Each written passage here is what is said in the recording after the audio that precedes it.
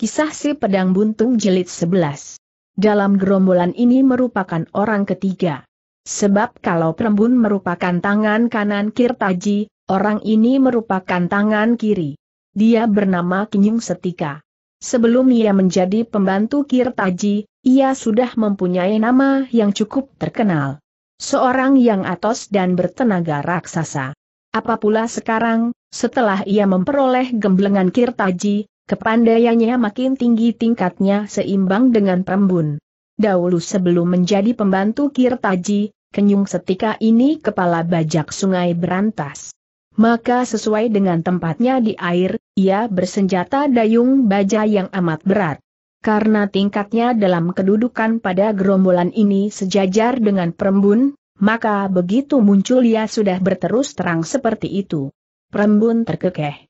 Ia tak dapat menolak tuntutan itu dan terpaksa menjawab. Silahkan menangkap sendiri, jika Kakang Kinyung memang butuh. Dan aku cukup dengan yang galak itu saja yang disebut galak itu adalah Minah. Dan tanpa komentar lagi, Kenyung setikap pun setuju. Ia sudah menerjang kedasih yang tak bersenjata lagi itu. Dapat dibayangkan betapa gugup dan gentarnya kedasih maupun Minah. Tadi mengeroyok dua saja, tak unggul mengatasi perembun. Apa pula sekarang, harus berhadapan seorang lawan seorang. Bagaimanakah mungkin bisa menang? Kenyung setika seorang yang kasar. Ia tak mau berlambat-lambat seperti perembun. Begitu memperoleh bagian, ia menerjang kedasih menggunakan ilmu tata kelahi seperti orang mau gulat. Serangan-serangannya agak lambat, tetapi semua ditujukan untuk menangkap lawan. Dalam keadaan seperti ini, Kedasih menjadi nekat. Dengan gerakannya yang cepat ia menggunakan tinju dan tendangan menghajar lawan. Namun sayang sekali Kinyung Setika adalah seorang yang kulitnya atos. Dua pukulan Kedasih telah mengenakan secara tepat pada pundak dan kepala lawan. Namun pukulan tersebut tidak menyebabkan apa-apa malah Kinyung Setika terkekeh. Heh, heh, heh, pijatlah aku manis. Denganmu begitu halus dan aduh, baumu sedap sekali titik nah nah, haluput, kenyung setika menghindari dua jari tangan kanan kedasih yang bermaksud menusuk matanya. Kemudian dengan gerakan yang tak terduga ia telah menyambar lengan kedasih. Ayah kedasih memekik kaget.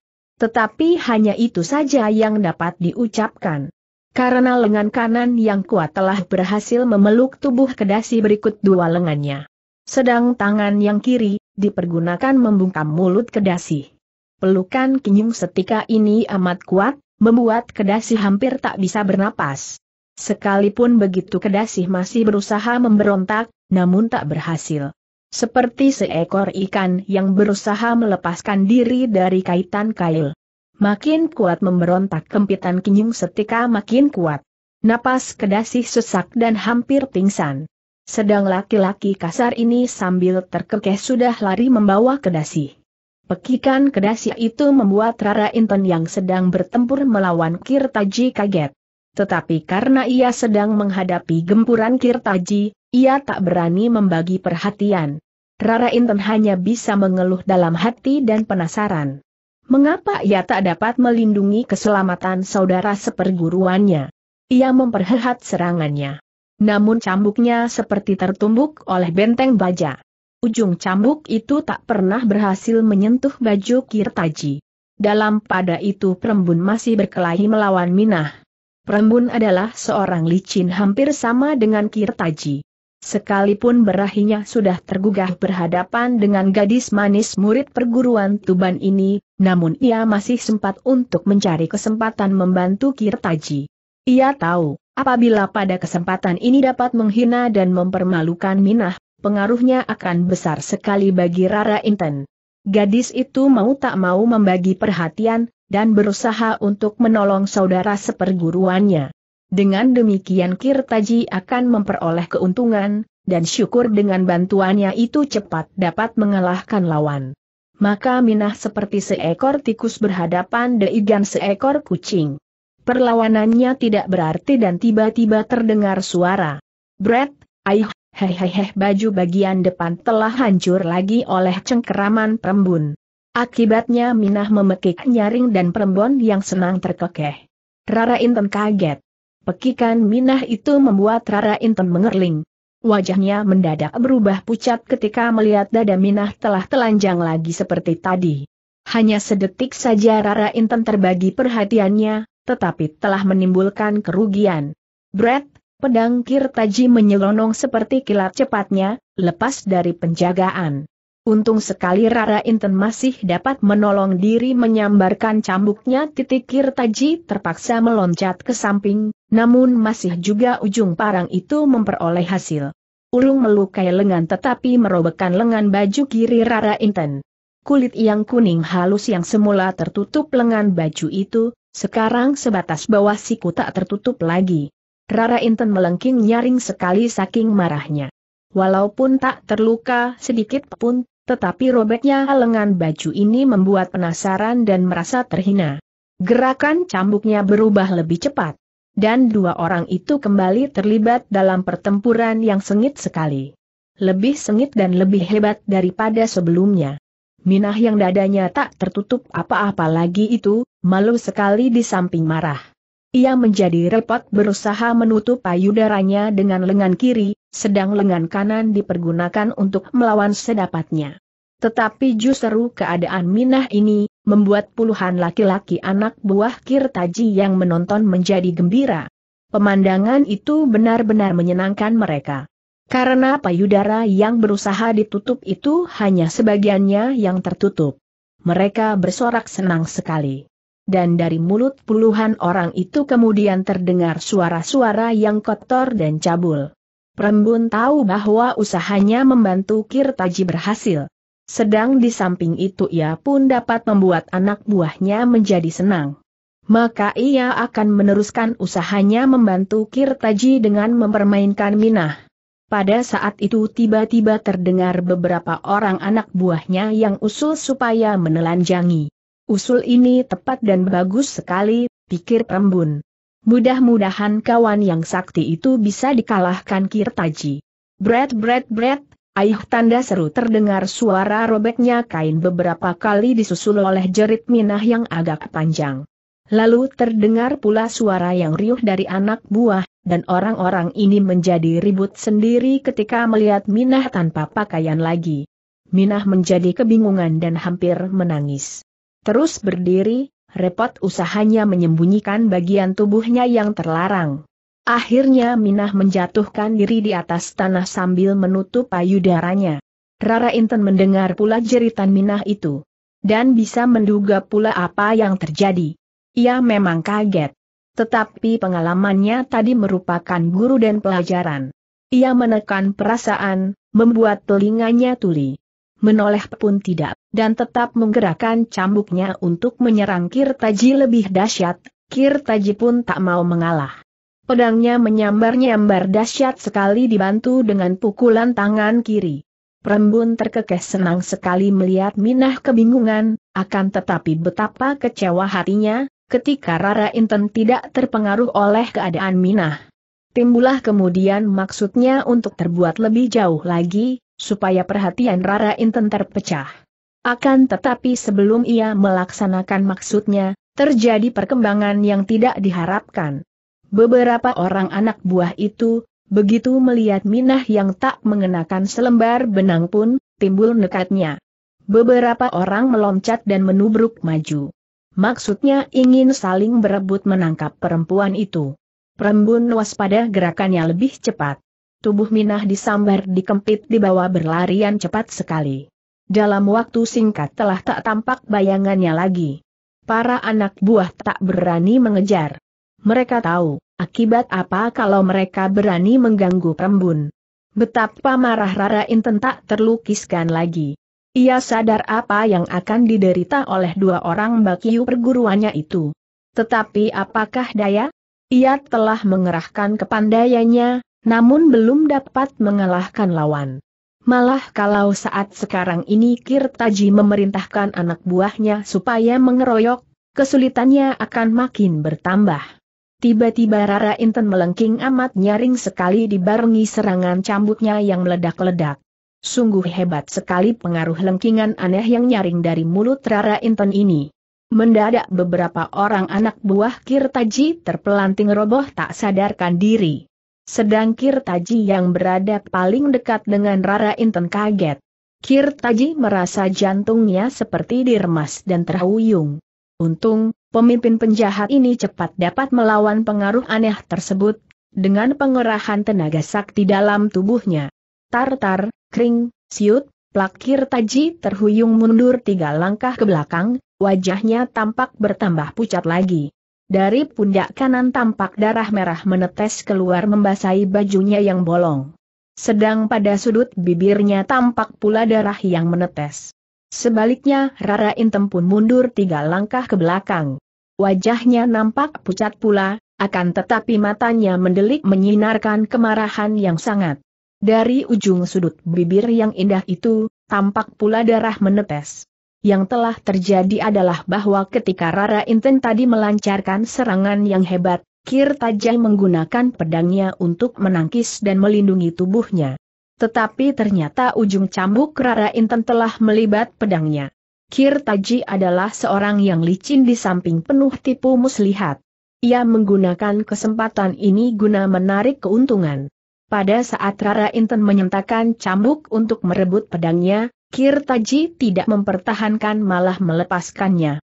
Namun berbareng itu ia telah melancarkan pukulannya yang hebat ke arah dada Rara Inten. Apabila pukulan tersebut berhasil mengenai sasaran, tentu Rara Inten akan segera roboh. Untung sekali bahwa selama Rara Inten menyembunyikan diri dan berlindung dalam gerombolan kendeng gadis ini telah mengenal pribadi dan watak Kirtaji. Mengenal bahwa di samping cerdik juga licin penuh tipu muslihat. Maka begitu menggentak cambuk tanpa perlawanan, secepat kilat Rara Inten telah menggeser ke samping. Namun ternyata pukulan dan ilmu gempur gunung Kirtaji itu, masih menyerempet bawah dada. Akibatnya Rara Inten menderita luka dalam cukup hebat. Meskipun demikian, Rara Inten masih dapat menyelamatkan nyawa dari maut. Hampir berbareng dengan mampirnya pukulan Kirtaji, Jari tangan kiri Rara Inten berhasil mencengkeram pundak kanan Kirtaji. Cambuk yang dipukulkan tertangkis tangan kiri Kirtaji. Namun dengan kecepatan luar biasa, Rara Inten berhasil menendang dada lawan. Sebagai hasilnya adalah, Kirtaji menderita luka dalam yang lebih parah. Kalau saja bukan Kirtaji, kiranya tentu sudah roboh oleh tendangan Rara Inten yang hebat ini. Setelah saling pandang sejenak dengan pandangan yang menyinarkan kebencian dan dendam yang dalam berkelebatlah bayangan Rara Inten meninggalkan lawan. Dan walaupun Rara Inten telah luka cukup berat namun beberapa anak buah Kirtaji yang berusaha merintangi, terpukul roboh oleh ujung cambuk. Maka yang lain tak berani gegabah bertindak, membiarkan Rara Inten pergi. Apa pula pada saat itu terdengar suara Kirtaji yang mencegah anak buahnya mengejar malah mengajak pulang ke markas. Kirtaji memang cukup maklum anak buahnya takkan ada artinya menghadapi Rara Inten sekalipun jumlahnya banyak. Ia tak menghendaki tambahnya korban yang jatuh. Rara Inten berlarian cepat dari tempat itu dengan hati marah, penasaran dan amat menyesal. Mengapa baru berhadapan dengan Kirtaji saja, tak bisa mengalahkan malah menderita luka dalam yang cukup parah. Percuma saja dirinya berpayah-payah melatih diri, hasilnya masih amat mengecewakan hatinya. Kapankah ia dapat menjadi seorang pendekar wanita tanpa tanding di dunia ini? Dalam pada itu ia juga amat menyesal sekali mengapa tak dapat melindungi keselamatan Minah dan Kedasi. Dari apa yang sudah dilihat dan didengarnya tadi, ia sadar akan nasib dua orang bakiu perguruannya tadi. Bergidik dan berdiri bulu kuduknya teringat nasib Minah tadi. Dipermainkan dan ditelanjangi di depan orang banjak. Ah, ia merasa kasihan sekali dan betapa derita Minah. Tetapi apa harus dikata sekarang? Ia dapat membuat Kirtaji terluka parah. Namun dirinya menderita pula. Kalau saja ia tidak terluka seperti sekarang ini ia tentu mencari jejak dua orang laki-laki yang melarikan Minah dan Kedasi. Syukur masih bisa menolong tetapi setidaknya ia masih bisa menghajar laki-laki kurang ajar dan cabul itu. Akan tetapi karena keadaannya sedang tidak mengizinkan tiada nafsu lagi mencari Minah dan Kedasi. Ia berlarian cepat langsung ke gua tempat tinggalnya. Ia harus lekas-lekas mengobati lukanya. Kemudian harus cepat-cepat menuju Tuban. Sesuai dengan laporan Minah dan Kedasih ini, ia harus dapat merebut kembali perguruan Tuban dari tangan Subinem. Namun justru terjadinya pengkhianatan Subinem itu tiba-tiba saja timbullah penasaran dan kemarahannya kepada Jaka Pekik. Mengapa penasaran dan kemarahannya ditimpakan kepada Jaka Pekik? Soalnya ia beranggapan bahwa Jaka Pekik ingkar tanggung jawab dan kewajibannya. Kalau dahulu, dia menerima penyerahannya, mengapa kemudian dia meninggalkan perguruan tersebut, dan dipercayakan kepada Telasi dan Sani? boleh saja menyerahkan tanggung jawab itu kepada orang lain kalau memang dia repot. Tetapi tidak boleh dilepaskan begitu saja. Bukankah gagak kerimang memiliki banyak tokoh sakti? Dia bisa menempatkan dua atau tiga orang guna melindungi keselamatan perguruan Tuban yang menjadi tanggung jawabnya sebagai akibat rasa penasarannya itu, membuat dadanya nyeri dan sesak. Samadinya terganggu, dan usahanya menyembuhkan luka dalamnya terhalang. Ia cepat menekan perasaan. Mengosongkan pikiran, agar samadinya tak terganggu lagi. Tak lama kemudian hawa sakti dari pusarnya mengalir dan tak terasa sakit lagi. Hawa sakti itu kemudian didorong ke arah bagian tubuh yang terluka. Demikianlah, pada esok paginya Rara Inten telah merasakan tubuhnya kembali sehat dan segar. Wajahnya yang cantik itu kembali pada keadaan yang semula. Bersinar gemilang dan sepasang matanya kembali seperti bintang pagi. Bibirnya kembali merah agak basah, indah dan menantang. Ia cepat berkemas. Mengumpulkan beberapa setel pakaian sebagai ganti dalam perjalanan. Cambuknya tak ketinggalan, disembunyikan melingkar tertutup oleh baju, di luar ikat pinggang. Rambut yang hitam dan panjang itu disanggul dan diselipkan setangkai bunga mawar hutan yang merah warnanya. Menambah kecantikannya yang asli dan takkan luntur. Gerakannya ringan dan tangkas ketika ia berloncatan mendaki tebing jurang meninggalkan gua tempat tinggalnya. Begitu tiba di atas, dan melihat alam bebas, ia meragu sejenak. Ia teringat Minah dan Kedasi kemarin, yang dilarikan dua orang laki-laki. Ia menghela napas panjang setengah mengeluh. Hem, tiada gunanya lagi. Di tangan manusia laki-laki yang biadab itu, manakah mungkin mereka dapat kutolong? Hem, kasihan engkau Mbak Yu Minah dan Mbak Yu Kedasi. Dan maafkanlah pula adikmu yang bodoh ini. Tak dapat menyelamatkan kalian dari malapetaka. Ia menghela napas panjang lagi. Setelah ia menebarkan pandang matanya ke sekeliling, Terdengar lagi katanya, tetapi sekarang nadanya geram. Huh, huh, Kirtaji. Kau manusia bangsat. Datanglah saatnya kemudian hari, engkau akan roboh dalam tanganku. Tunggulah saatnya aku datang menghancurkan batok kepalamu. Huhu selama kau masih hidup dunia takkan bisa aman dan damai, setelah itu, tubuhnya berkelebat seperti terbang. Gerakannya amat ringan sekali, dan dalam waktu singkat ia telah hilang tertelan rimbun daun hutan. Dugaan Rara Inten itu sesungguhnya salah. Kalau kemarin Rara Inten mau meluangkan waktu mencari dua orang saudara perguruannya itu, mungkin dua-duanya masih bisa diselamatkan dari malapetaka. Sebab Rembun dan Kinyung setika bukannya membawa korbannya pulang ke markas. Tetapi membawanya ke dalam hutan mencari tempat yang terlindung oleh gerumbul pohon dan lebatnya daun. Dan secara kebetulan, arah Perembun dan Kenyang Setika saling bertentangan. Kalau Kenyung Setika yang pergi lebih dahulu dengan mengempit tubuh Kedasih menuju ke selatan, adalah Perembun setelah puas mempermainkan, mengempit tubuh Minah yang tak berpakaian lagi itu ke arah barat. Kedasi berusaha meronta terus dari kempitan Kenyung Setika. Kakinya menendang-nendang sejadinya mulutnya mencaci maki tak keruan. Akan tetapi semua itu hanya ditertawakan saja oleh orang tinggi besar dan tanpa baju ini. Kenyung setika yang kuat tengahnya itu, kempitannya kuat sekali. Kedasih yang berusaha menarik lengannya, sampai merasa sakit tak juga berhasil. Dadanya makin lama makin susak. Ia terengah-engah hampir pingsan, kemudian menutup mulut, tak mencaci maki lagi, namun diam-diam ia memutar pikiran dan otaknya mencari akal meloloskan diri. Namun amat sayang sekali, walaupun ia sudah memutar otak mencari akal, dan kepalanya terasa berdenyut belum juga menemukan akal yang baik untuk menyelamatkan diri.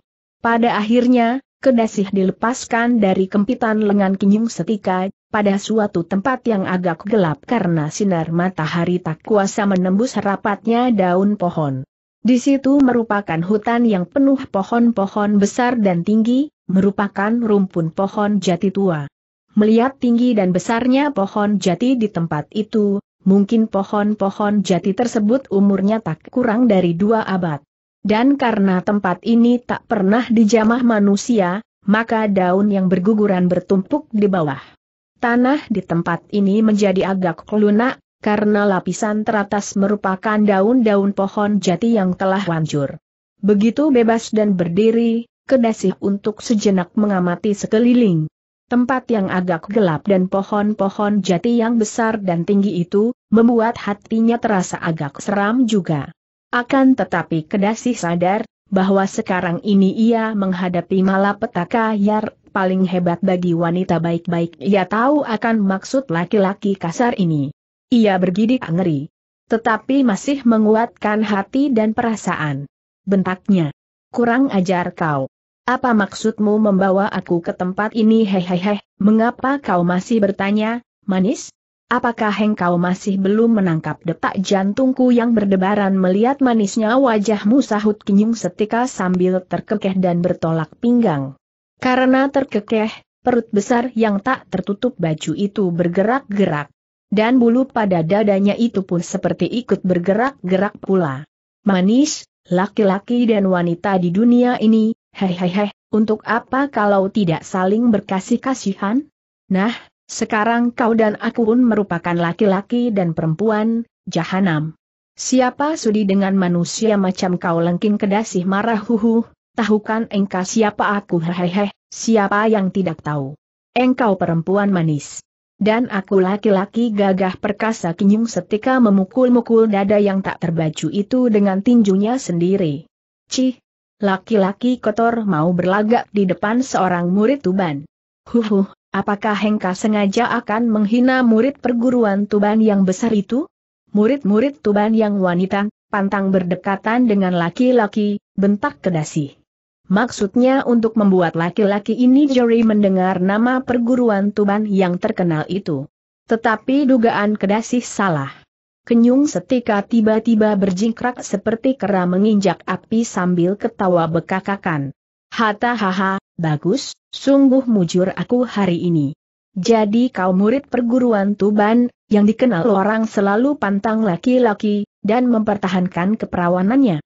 Bagus, tak kusangka hari ini aku memperoleh seorang gadis. Bagus, hayo hari ini kita bersenang-senang, manis. Dan janganlah kau menganggap laki-laki ini tak ada harganya. Wanita dilahirkan untuk menjadi jodohnya laki-laki. Tahu. Mari, jangan kau menolak lagi setan jahanam. Jangan kau sentuh aku bentak kedasih sambil melesat ke samping menghindarkan diri. Ia merasa ngeri melihat lengan hitam yang berbulu itu meraih heh, heh heh, kenyung setika terkekeh. Kau mengajak main kucing-kucingan dulu? Mari, kita menjadi kanak-kanak dulu sebelum menjadi pengantin, plak kenyung setika yang berdiri sambil terkekeh itu, perutnya telah terpukul tendangan kedasi. Namun Kinyung setika seperti tidak merasa. Ia tetap terkekeh sambil mengamati kedasi dengan mata berkilat. Sebaiknya kau memang harus memijati aku dulu, manis, Kenyung setika berkata sambil membalikan tubuh, ia memberikan punggungnya yang hitam supaya dipukul oleh kedasi. Kedasi mengeluh. Celaka pikirnya. Manusia ataukah besi? Kalau manusia mengapa pukulannya tidak menyebabkan sakit? Kalau demikian halnya, percuma saja melawan. Mumpung ada kesempatan, apakah salahnya melarikan diri? Kedasih meloncat untuk lari. Tapi Kinyung setika tak dapat ditipu. Ia membalikan tubuh. Dan walaupun tubuhnya tinggi besar, ternyata gerakannya tak kalah ringannya dengan kedasih. Tahu-tahu Kinyung Setika telah menghadang di depannya sambil mengembangkan lengan mau memeluk. Kedasih menjerit dan membuang tubuhnya ke samping. Namun ternyata gerakannya kalah cepat. Lengan Kinyung Setika telah menjamret ujung bajunya. Kedasih menjerit keras dan terpelanting, bajunya robek bagian belakang. Dan tahu-tahu, lengan berbulu itu sudah memeluknya. Plak pukulan kedasih tepat mengenakan tengkuk kenyang setika yang bersikap sembrono. Kenyung setika kaget dan memekik tertahan, karena terasa sakit. Pelukannya lepas, kemudian mengusap tengkuknya yang tadi terpukul. Menggunakan kesempatan itu kedasih cepat melompat untuk melarikan diri. Diam-diam perempuan ini ngeri dan mengeluh. Pukulannya tadi kuat sekali dan tepat mengenakan tengkuk. Namun mengapa laki-laki itu tak apa-apa? Sungguh ia merasa heran. Pukulan kedasih tadi memang keras. Dan kalau yang dipukul bukan kinyung setika, mungkin leher itu sudah patah. Tetapi kinyung setika adalah bekas bajak sungai berantas yang sakti mandraguna dan keras tubuhnya. Sejak masih kecil telah digembleng oleh ayahnya sendiri dengan latihan pukulan kayu maka tubuh Kinyung Setika menjadi keras dan kebal pukulan. Jangan lagi pukulan tangan walaupun tongkat belum tentu dapat melukai Kinyung Setika ini. Hei, kau mau lari ke mana Kinyung Setika terkekeh sambil mengejar. Kedasih mengerahkan kepandaiannya lari. Namun walaupun demikian, Kinyung Setika mengubar. Makin lama jaraknya makin pendek, dan Kedasih sudah kempas-kempis dan amat khawatir sekali. Pada saat berbahaya ini tiba-tiba terdengar suara hentakan nyaring. Bangsat tak tahu malu. Apa sebabnya kau mengubar perempuan sesosok bayangan berkelebat cepat sekali? Tangan yang kecil itu bergerak. Duk, aduh Kinyung setika berteriak kaget dan terhuyung ke belakang. Ia meraba pundak kanan yang terasa agak nyeri terpukul orang. Kedasih juga mendengar bentakan dan antara mengaduhnya Kinyung setika. Ia menghentikan larinya, sebab ia yakin ada orang datang memberi pertolongan.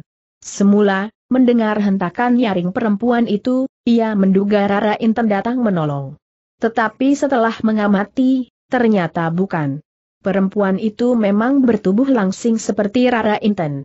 Tetapi lebih pendek sedikit. Dan ketika melihat bagian atas, ah kedasih berseru tertahan. Ia meloncat menghampiri. Kemudian katanya, Kau, kau Nona Salindri kalau begitu saja kedasih menduga orang perempuan ini Salindri, memang tidak awur-awuran. Ia memang belum kenal dengan Salindri. Tetapi ia pernah mendengar cerita tentang munculnya seorang gadis berkedok kain hitam dari semula membuat Rara Inten ketakutan. Cerita ini didengar kedasih ketika di Pondok Bligo. Hai hai hik, benar. Aku memang Salindri. Dan kau siapa? Pula siapakah laki-laki ini yang mengejarmu sahut Salindri sambil terkekeh. Seperti telah diceritakan di bagian depan dari cerita ini Salindri memang berubah tidak waras. Meskipun demikian datangnya penyakit ini kumat-kumatan. Kadang ia seperti orang waras, tetapi kadang tampak tidak waras. Ketika ia pergi meninggalkan Jaka Pekik dan Rara Inten gadis ini mengembara semau kaki melangkah. Akan tetapi karena wajahnya penuh bekas luka, ia jarang mau bertemu orang, ia selalu mengenakan kedok kain hitam. Atas pertanyaan Salindri itu, tiba-tiba saja kedasih berlutut. Menangis dan meratap. Oh, tolonglah aku, Nona Salindri. Aku, murid perguruan Tuban. Aku dikejar-kejar laki-laki biadab itu, yang mau memaksaku. Oh haha, tolonglah, Salindri mengerutkan alisnya. Sesungguhnya gadis ini menjadi tak senang mendengar nama perguruan Tuban disebut. Sebab nama perguruan itu mempunyai hubungan erat dengan Rara Inten yang pernah berusaha membunuhnya. Akan tetapi perasaan yang kurang senang itu cepat terdesak oleh nurani kewanitaannya. Sekarang ini seorang perempuan, kaumnya diancam keselamatannya oleh seorang laki-laki. Maka harus dibela dan diselamatkan. Hai hai hit kalau mengingat ketuamu dahulu pernah mencoba membunuh aku, sebenarnya tak sudi aku membela murid Tuban. Tetapi hai hai hik, engkau adalah perempuan. Dan aku perempuan pula. Engkau sama dengan aku dan aku sama dengan kau. Tak boleh perempuan dihina laki-laki. Tak boleh mempermainkan dan memaksa. Hai hai hik, apakah perempuan itu semacam barang permainan? Hai hai hik, jangan khawatir. Biar ku hajar laki-laki hidung belang ini, eh, tetapi hidung laki-laki itu tidak belang. Malah hitam, hai hai hik. Baiknya aku sebut hidung hitam saja, sahut Salindri sambil terkekeh. Sebenarnya orang akan segera curiga kalau mendengar cara bicara Salindri yang tak keruan ini.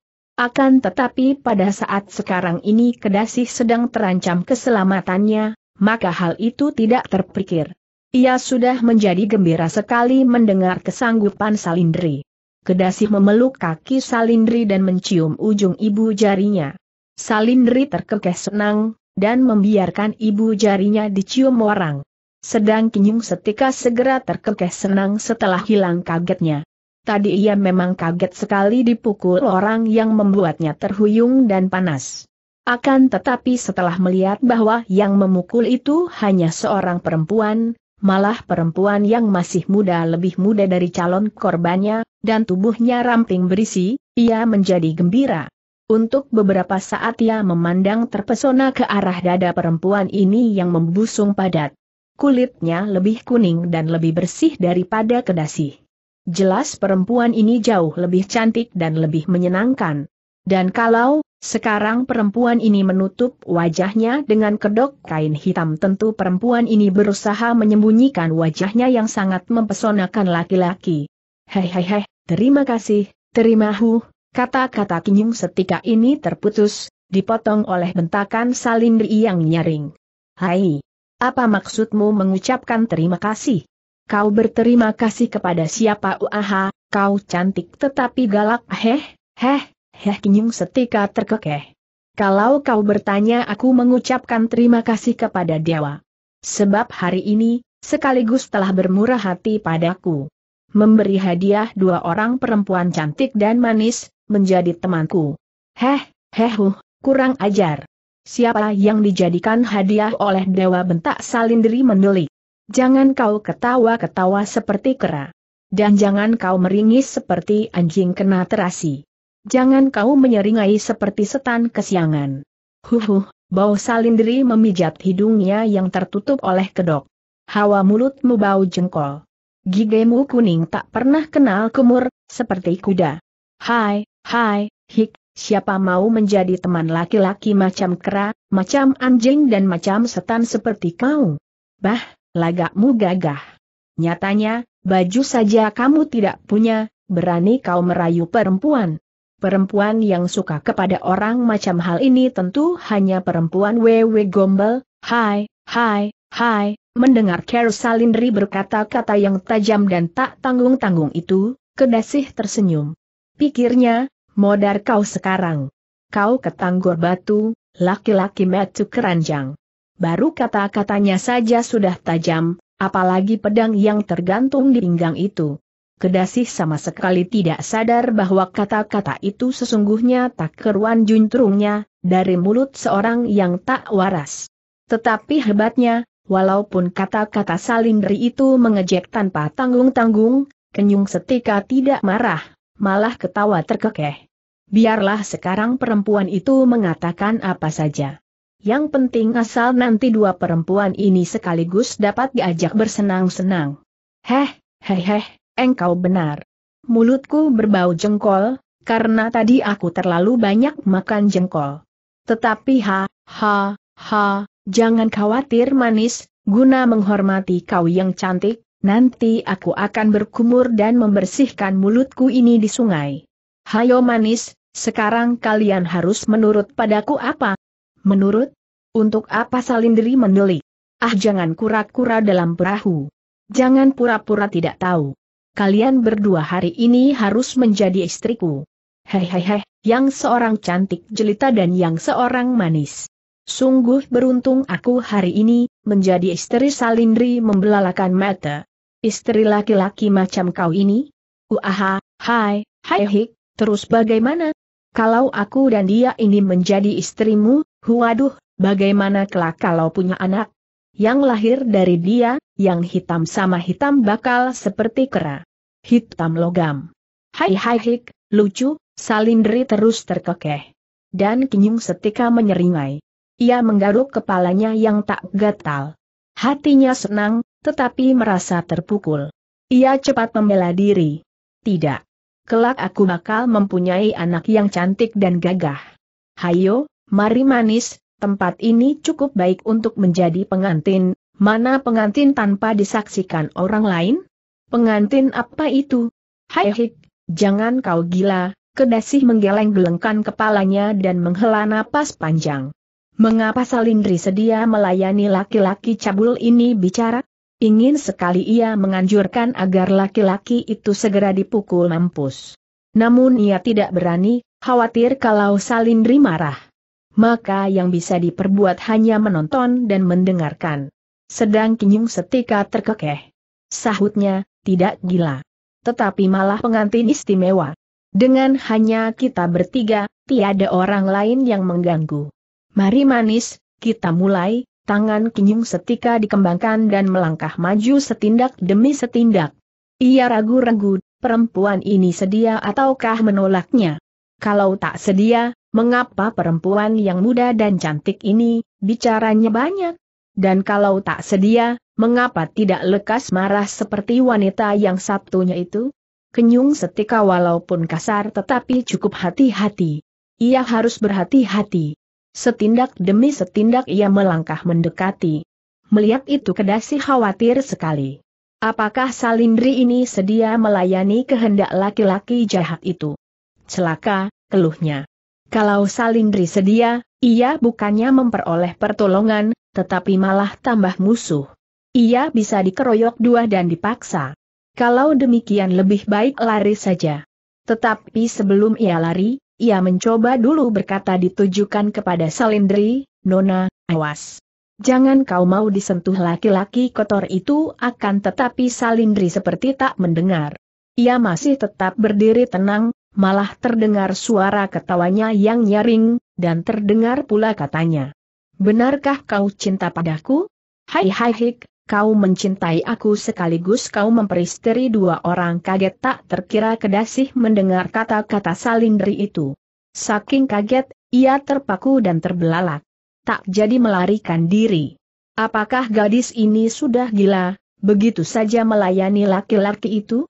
Sebaliknya Kinyung setika menjadi gembira. Lupa akan keraguannya, kemudian makin mendekat sambil terkekeh. Hei, manis, jangan khawatir, Aku cinta padamu, hei, dunia dan akhirat. Kau cantik jelita bagai bidadari, plak, aduh, kenyung setika menjerit nyaring dan tubuhnya terlempar lebih tiga meter jauhnya. Matanya mendelik, tubuhnya gulung koming seperti semut terpanggang api bergulingan, karena kesakitan luar biasa pada bagian tengah selakangnya. Saking sakit, ia bergulingan terus. Ia tak menyadari menuju sebuah jurang. Salindri melesat maju, kakinya bergerak. Tubuh Kinyung setika yang bergulingan itu ditendang dan terlempar ke dalam jurang. Terdengar pekik mengerikan kemudian sepi. Kedasih terbelalak menyaksikan peristiwa itu. Baru sadarlah ia sekarang, bahwa Salindri menggunakan akal dalam mengalahkan orang. Hanya sekali gebrak laki-laki tersebut telah terlempar ke dalam jurang. Ia menghela napas panjang. Ah, ternyata ia kalah cerdik. Mengapa dirinya tadi tak menggunakan akal seperti Salindri? Namun tak gampang pula bertindak seperti Salindri. Ia memang seorang gadis tabah, sekalipun otaknya tidak waras lagi. Sejak kecil ia merupakan gadis periang. Bisa berlaku halus, tetapi juga bisa berlaku berandalan. Walaupun otaknya sudah agak miring, tetapi otaknya masih bisa bekerja baik sekali. Ia tadi kaget ketika pukulannya yang tepat mengenakan pundak orang itu, tidak membuat terjungkal roboh. Sebagai seorang gadis yang cerdik ia cepat sadar bahwa laki-laki ini bukan orang sembarangan. Sekalipun belum tentu kalah, tetapi kalau harus berkelahi, membutuhkan waktu panjang dan salah-salah nyawa sendiri jadi taruhan. Ia tak mau lewat jalan yang menimbulkan resiko itu. Terpikir kemudian oleh Salindri untuk menggunakan akal bulus, bersikap lunak. bersikap seolah-olah bersedia melayani dengan kata-katanya bercampur lelucon dan genit. Ternyata usaha Salindri berhasil. Laki-laki kasar itu hilang kecurigaannya dan hilang kewaspadaannya. Namun menggunakan siasat macam Salindri ini memerlukan ketabahan dan perhitungan yang cukup cermat. Harus sekali pukul dapat merobohkan lawan. Dalam otaknya yang sudah terganggu itu, ingatlah ia akan nasihat ibunya ketika masih hidup.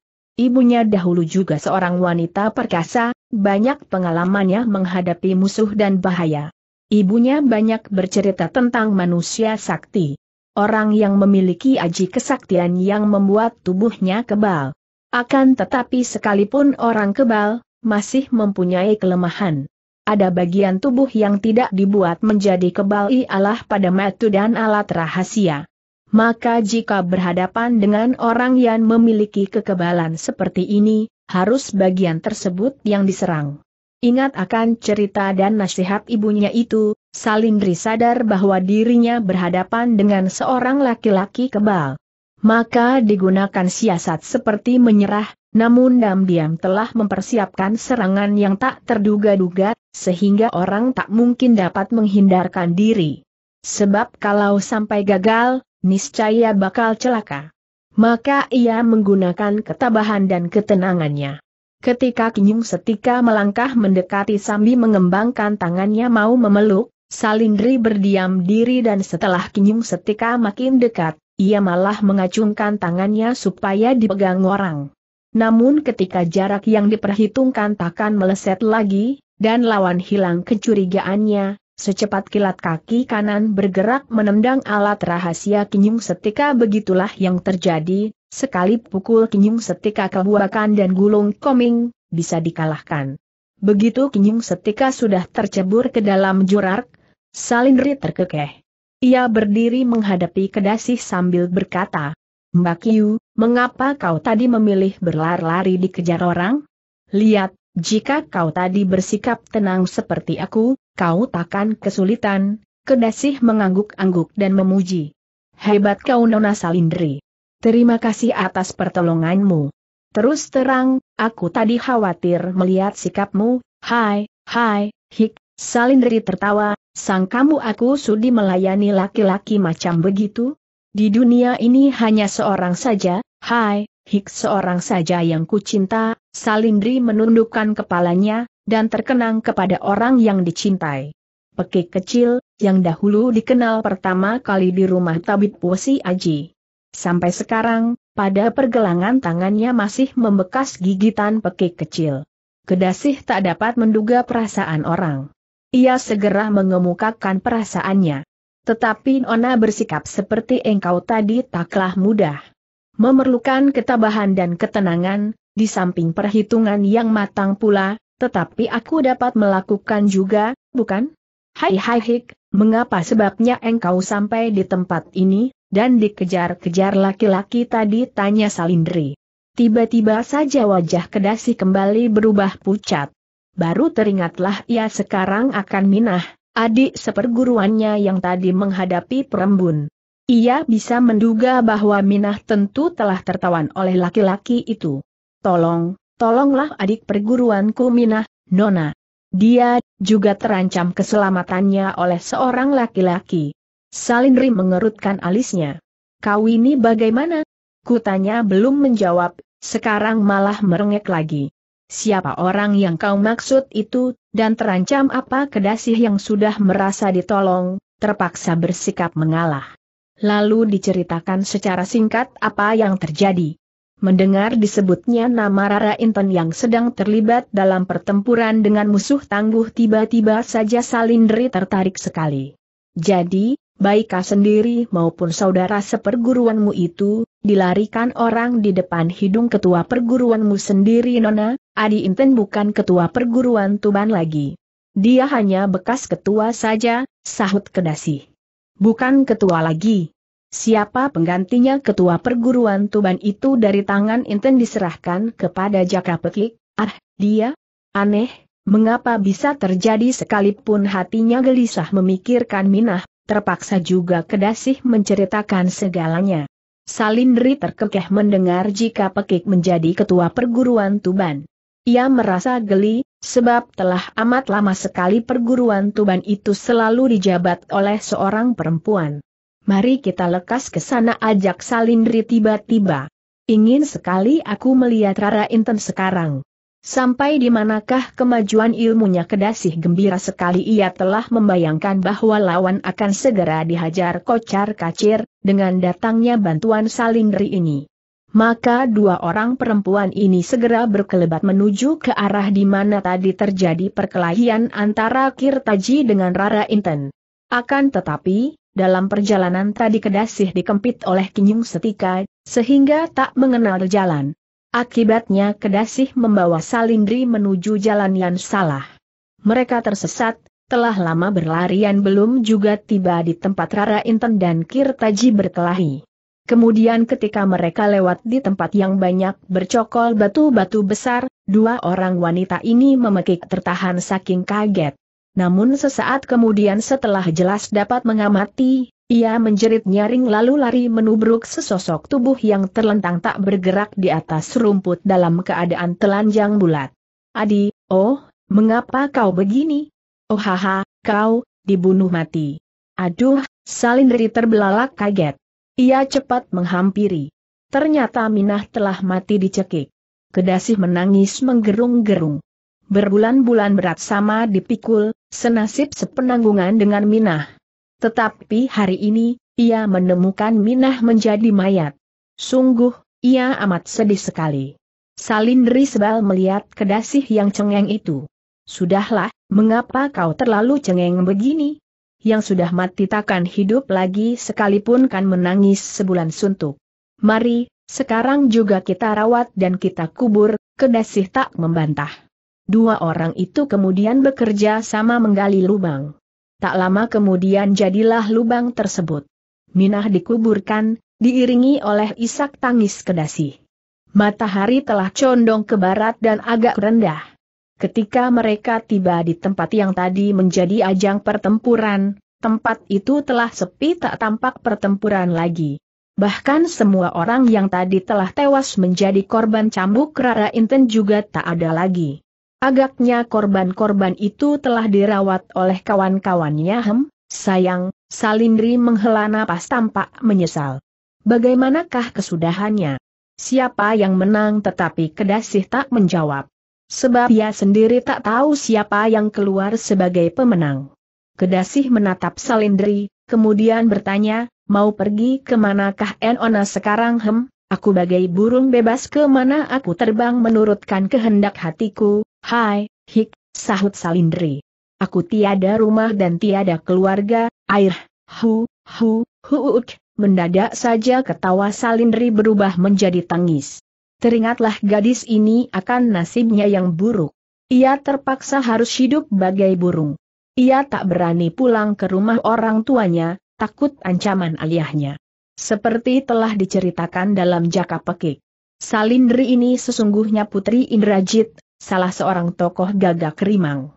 Indrajit adalah adik kandung Sita resmi istri Wijaya murid perguruan Kemuning. Dan Wijaya adalah guru Jaka Pekik yang pertama, sekaligus sebagai orang tua angkatnya. Karena Jaka Pekik menganggap Wijaya dan Sita resmi sebagai ayah bundanya, maka Salindri diakui sebagai saudara sepupu. Tetapi karena Salindri telah kesalahan membunuh ibu tirinya dalam membela ibu kandungnya, maka Indrajit menjadi marah. Salindri diancam akan dibunuh. Inilah sebabnya Salindri merasa nasibnya buruk, dan tak berani pulang ke rumah. Kedasih terbelalak heran. Mengapa tiba-tiba Salindri menangis? Ia menghibur, memujuk dan bertanya dengan halus. Seperti telah diketahui, Salindri keadaannya tak waras lagi. Namun hanya kumat-kumatan. Mendengar kata-kata kedasih yang halus dan membujuk itu, Salindri memeluk. Selama ini Salindri tak memperoleh tempat untuk mencurahkan perasaan dan isi hatinya. Baru sekarang ia bertemu dengan orang sejenis yang memperhatikan keadaannya. Maka diceritakan kemudian semua peristiwa yang bersangkut paut dengan jalan hidupnya, dari awal sampai akhir. Mendengar itu kedasih terharu. Kemudian Kedasih menawarkan diri, apabila Salindri sudi, akan diangkat sebagai adiknya. Dan mulai hari ini takkan terpisah lagi. Salindri amat gembira. Dua orang perempuan ini kemudian saling memeluk lama sekali. Baru ketika matahari sudah rendah di barat dua orang perempuan ini melesat pergi bersama menuju Tuban. Salindri menyanggupkan diri untuk membantu Kedasih, merebut kembali perguruan Tuban dari tangan Subinem. Mereka hanya beristirahat sebentar di sebuah desa guna mencari pengisi perut. Sesudah itu mereka meneruskan perjalanan menuju Tuban. Mereka memang tak ingin perjalanan tertunda-tunda. Demikianlah, karena mereka menempuh perjalanan cepat maka dalam waktu tiga hari saja, mereka telah tiba di Tuban. Begitu mau masuk ke kota Tuban, Kedasih agak kaget melihat perubahan yang terjadi, kota itu dipenuhi oleh prajurit yang pakaiannya berbeda dengan prajurit Tuban. Batas kota dijaga dengan ketat. Beberapa orang yang lalu jalang diperiksa. Kedasi berdebar. Mungkinkah para prajurit ini pasukan Mataram? Akan tetapi Kedasih dan Salindri tidak kesulitan masuk ke dalam kota, setelah mengaku sebagai murid Tuban. Kenyataannya memang Kedasih murid Tuban. Maka ketika diminta bukti-bukti dan dihujani pertanyaan tentang perguruan Tuban, Kedasih dapat menjawab secara tepat. Dan karena Salindri juga perempuan, dalam pada itu ia melepas kedoknya, prajurit yang memeriksa di perbatasan itu agak seram juga hatinya. Wajah Salindri sesungguhnya amat cantik jelita, akan tetapi wajah itu sudah rusak, penuh bekas luka goresan. Pada pipi kanan terdapat bekas luka silang, sedang pada pipi kiri terdapat bekas beberapa luka memanjang. Melihat keadaan perempuan yang wajahnya rusak ini prajurit itu tidak mempersulit.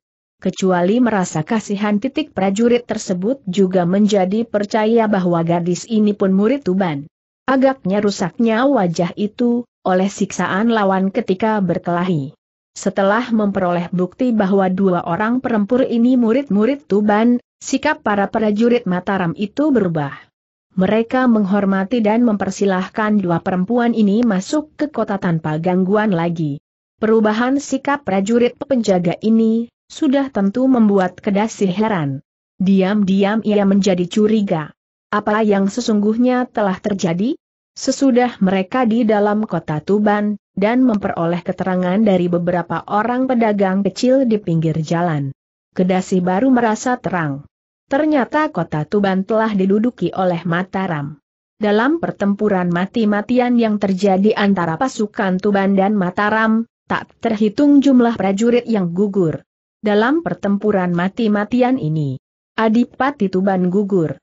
Sekarang yang diangkat sebagai Bupati Tuban oleh Ratu Wandansari, adalah salah seorang putra Adipa Tuban. Akan tetapi, pasukan yang menduduki Tuban ini tidak banyak lagi, kira-kira hanya seribu orang saja. Pasukan Mataram yang lain, dipimpin oleh Pangeran Kajoran, Adipati Manduro Reja dan Adipati Uposonto, meneruskan gerakannya menuju Jeratan dan Gesik. Menurut perhitungan Pangeran Kajoran, pasukannya bakal bertemu dan bisa bergabung dengan pasukan Mataram yang dipimpin Sultan Agung sendiri. Perjalanan Kedasih dan Salindri banyak sekali menyimpang apabila berpapasan dengan murid Tuban yang berkeliaran. Kedasih tak mau bertemu mereka. Sebab Kedasih telah menduga, bahwa perbuatannya melarikan pedang Jatisari tentu telah diketahui oleh semua murid Tuban. Mengapa takut Salindri mencela? Bukannya takut. Tetapi aku menghendaki, kehadiran kita di rumah perguruan Tuban tidak bocor lebih dahulu, kedasih membela.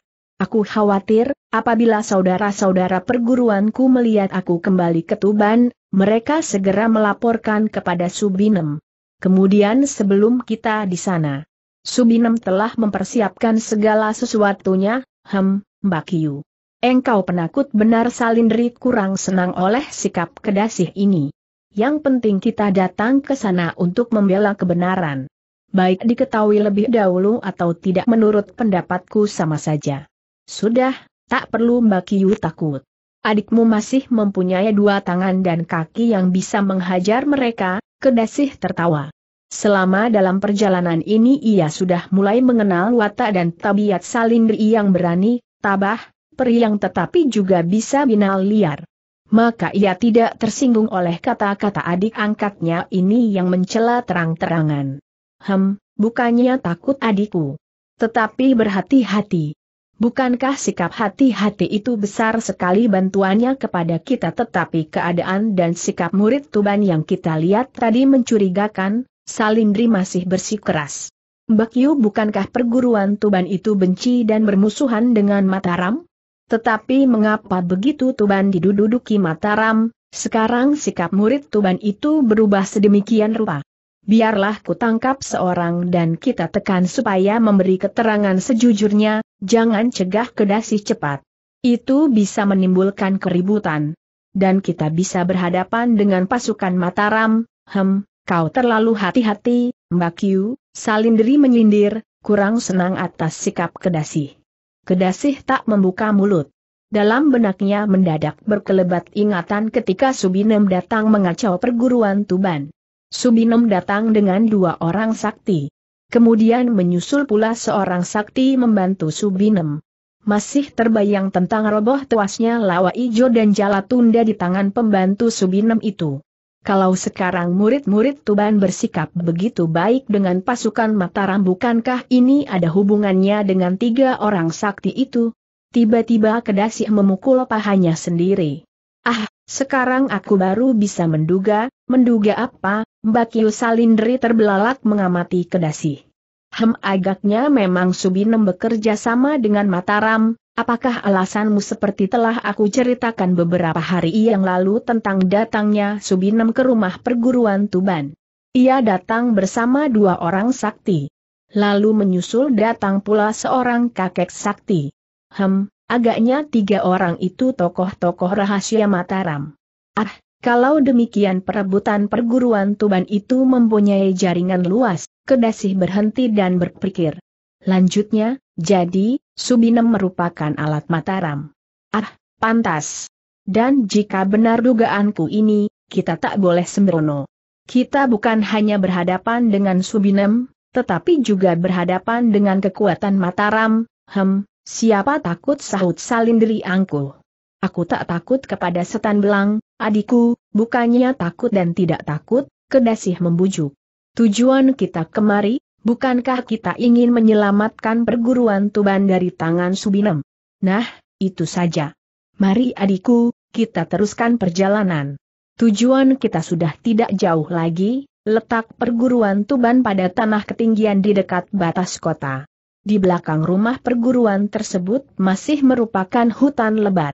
Akan tetapi pada kanan kiri dan depan pekarangan rumah perguruan tersebut, sudah merupakan ladang dan persawahan. Ladang dan sawah ini dikerjakan para murid Tuban sendiri. Dan dari hasil bercocok tanam inilah untuk mencukupi kebutuhan mereka sendiri, baik untuk makan maupun membeli pakaian. Tetapi walaupun Kedasi bermaksud agar kedatangannya bisa secara tiba-tiba, maksud itu ternyata tak terwujud. Pertama, mereka datang di waktu siang. Yang kedua, mereka datang terang-terangan. Artinya tidak sembunyi-sembunyi. Maka kedatangan mereka ini cepat diketahui para murid Tuban yang sedang berjaga. Beberapa orang di antara mereka kaget melihat kedasih yang sudah sejak lama mereka cari-cari atas perintah ketua. Akan tetapi, siapakah kawan kedasih itu? Kalau Minah, mengapa tubuhnya ramping semampai, sedang Minah bentuk tubuhnya agak gemuk denok. Dalam pada itu kalau Minah, mengapa mengenakan kedok penutup muka dari kain hitam? Timbullah kecurigaan para murid Tuban ini. Agaknya kedasi berani muncul karena mempunyai seorang pembantu yang sakti mandraguna seorang di antara para murid itu cepat lari untuk memberi laporan kepada Mirah yang telah diangkat oleh Subine menjadi pembantu dan tugasnya mengurusi persoalan-persoalan ringan tiap harinya. Betulkah Sundal itu berani datang kemari Mirah kurang percaya. Sendiri ataukah datang bersama Minah dia datang berdua. Tetapi terang bukan Minah. Sebab perempuan itu tubuhnya ramping dan mengenakan kedok kain hitam, menutup mukanya, murid Tuhan yang melapor itu menjawab. Ah, wajah Mirah agak berubah. bertubuh ramping dan mengenakan kedok jangan-jangan, bukan, dia bukan potong murid itu. Mirah mendelik. Siapa yang kau katakan bukan itu? Lancang kau. Apakah kau tahu maksudku bukankah Mbak Kiu menduga orang itu Adi Inten ah, kau menduga tepat sekali, Mirah memuji. Aku tadi memang menduga dia. Tetapi eh, mengapa engkau mengatakan bukan? Apakah kau sudah merasa pasti murid itu tertawa? Tentu saja, Mbak Kiu, kalau Adi Inten tubuhnya ramping dan tinggi, lebih tinggi dibanding kedasi. Akan tetapi perempuan itu sekalipun bentuk tubuhnya mirip, namun tingginya hanya sama dengan kedasi saja, mari kita lihat Mirah segera mengikuti murid yang melapor tadi, mengintai dari balik tembok ke arah jalan. Segera tampak oleh Mirah. Kedasih dan perempuan berkedok itu berjalan agak cepat. Jarak dengan pintu gerbang sudah tidak jauh lagi. Dan menurut dugaan Mirah, kawan kedasih itu memang bukan Rara Inten. Hati Mirah menjadi besar lalu mengajak murid yang melapor tadi menuju pintu gerbang. Para murid membungkuk memberi hormat kepada Mirah. Dan Mirah tersenyum dengan sikapnya yang angkuh. Memang sikap Mirah berubah setelah diangkat sebagai pembantu Subinem. Sikapnya angkuh dan galak. Tetapi sebaliknya apabila berhadapan dengan Subinem, perempuan ini sikapnya menjilat-jilat. Ia selalu patuh kepada setiap perintah Seng Ketua, dan membuat Subinem senang dan selalu dipuji-puji sebagai murid teladan. Tetapi justru sikap merah yang demikian ini, membuat para murid Tuban diam-diam tidak senang dan benci. Lebih-lebih bagi para murid yang masih setia dan berpihak kepada Sarni dan Rara Inten. Para murid ini diam-diam selalu berusaha menyelamatkan perguruan Tuban dari tangan Subinem. Namun karena mereka belum memperoleh jalan, mereka tak berani gegabah. Dan sekarang, melihat munculnya kedasih dan seorang perempuan yang belum mereka kenal, para murid yang anti Subinem ini gembira. Mereka sudah bisa menduga bahwa kedatangan kedasih ini tentu bermaksud melawan Subinem. Dan diam-diam pula para murid yang masih setia kepada Sarni dan Rara Inten telah bersiaga. Apabila terjadi keributan nanti, mereka telah bersepakat untuk berbalik dan membantu kedasi. Mirah telah berdiri di tengah pintu gebang, bertolak pinggang dan sikapnya angkuh sekali. Beberapa orang murid Tuban yang kebetulan berjaga ini, lebih separuh jumlahnya, terdiri dari murid-murid yang tak senang kepada Subinem. Dalam hati mereka menyeringai dan ingin sekali memukul perempuan sombong ini. Begitu Kedasih dan Salindri tiba di depan pintu gebang, Mirah telah membentak, kedasi murid hianat. Lekaslah berlutut dan menyerahlah untuk kami tangkap kedasih yang belum tahu kedudukan Mirah sekarang, memandang heran. Sahutnya, Adi Mirah, jangan kau ikut campur semua urusan. Lekas berilah jalan, dan laporkan kepada pengkhianat Subinem, bahwa aku datang untuk menangkap dan mengadilinya, Mirah yang sekarang besar kepala itu mendelik. Kakinya dibantingkan ke tanah. Jahanam. Kau berani kurang ajar di depanku? Aku adalah pembantu utama Mbak Yu Ketua. Tahu. Hayo lekaslah berlutut sebelum aku marah memerintahkan para murid membekukmu. Plak. Aduh tanda seru mirah mengelus-elus pipi kirinya yang biru dan membengkak seketika. Hai, hai hik, itulah hadiah bagimu yang kelewat sombong. Huh, huh, Siapa takut kamu keroyok AJ, Salindri sambil terkekeh. Semua mata murid Tuban yang berada di pintu gerbang terbelalak. Mereka tadi tak tahu bagaimana cara bergerak perempuan berkedok kain hitam itu. Akan tetapi tahu-tahu Mirah sudah memekik, pipi kirinya kena pukul dan membengkak seketika. Diam-diam mereka yang menyaksikan kagum. Dan bagi mereka yang tak senang kepada Mirah mentertawakan. Makin mantap hati mereka apabila terjadi keributan nanti, akan berbalik dan berpihak kepada kedasi. Dan orang di antara mereka segera berlarian pergi ke rumah perguruan. Untuk berhubungan dengan saudara-saudara mereka yang sepaham dan mempersiapkan perlawanan. Bangsat berkedok. Siapa kau berani kurang ajar mirah membentak marah. Kemudian ia berpaling kepada anak murid untuk memberi abah supaya mengeroyok. Tetapi sebelum keluar perintahnya, Mirah telah mengaduh kesakitan terpelanting roboh. Sebelum dapat memberi perlawanan, ia telah dibekuk oleh Salindri. Dua tangannya ditelikung ke belakang, tak dapat memberontak bisanya tinggal mencaci maki. Jahanam. Setan berkedok. Lepaskan, berontaklah jika bisa. Hai, hai, hik, kepandaianmu tak seberapa berani sombong di depanku, EJ, Salindri sambil mendorong tubuh mirah, hingga terhuyung-huyung mau terjungkal. Plak, prak dua pukulan telah bersarang di pelipis mirah.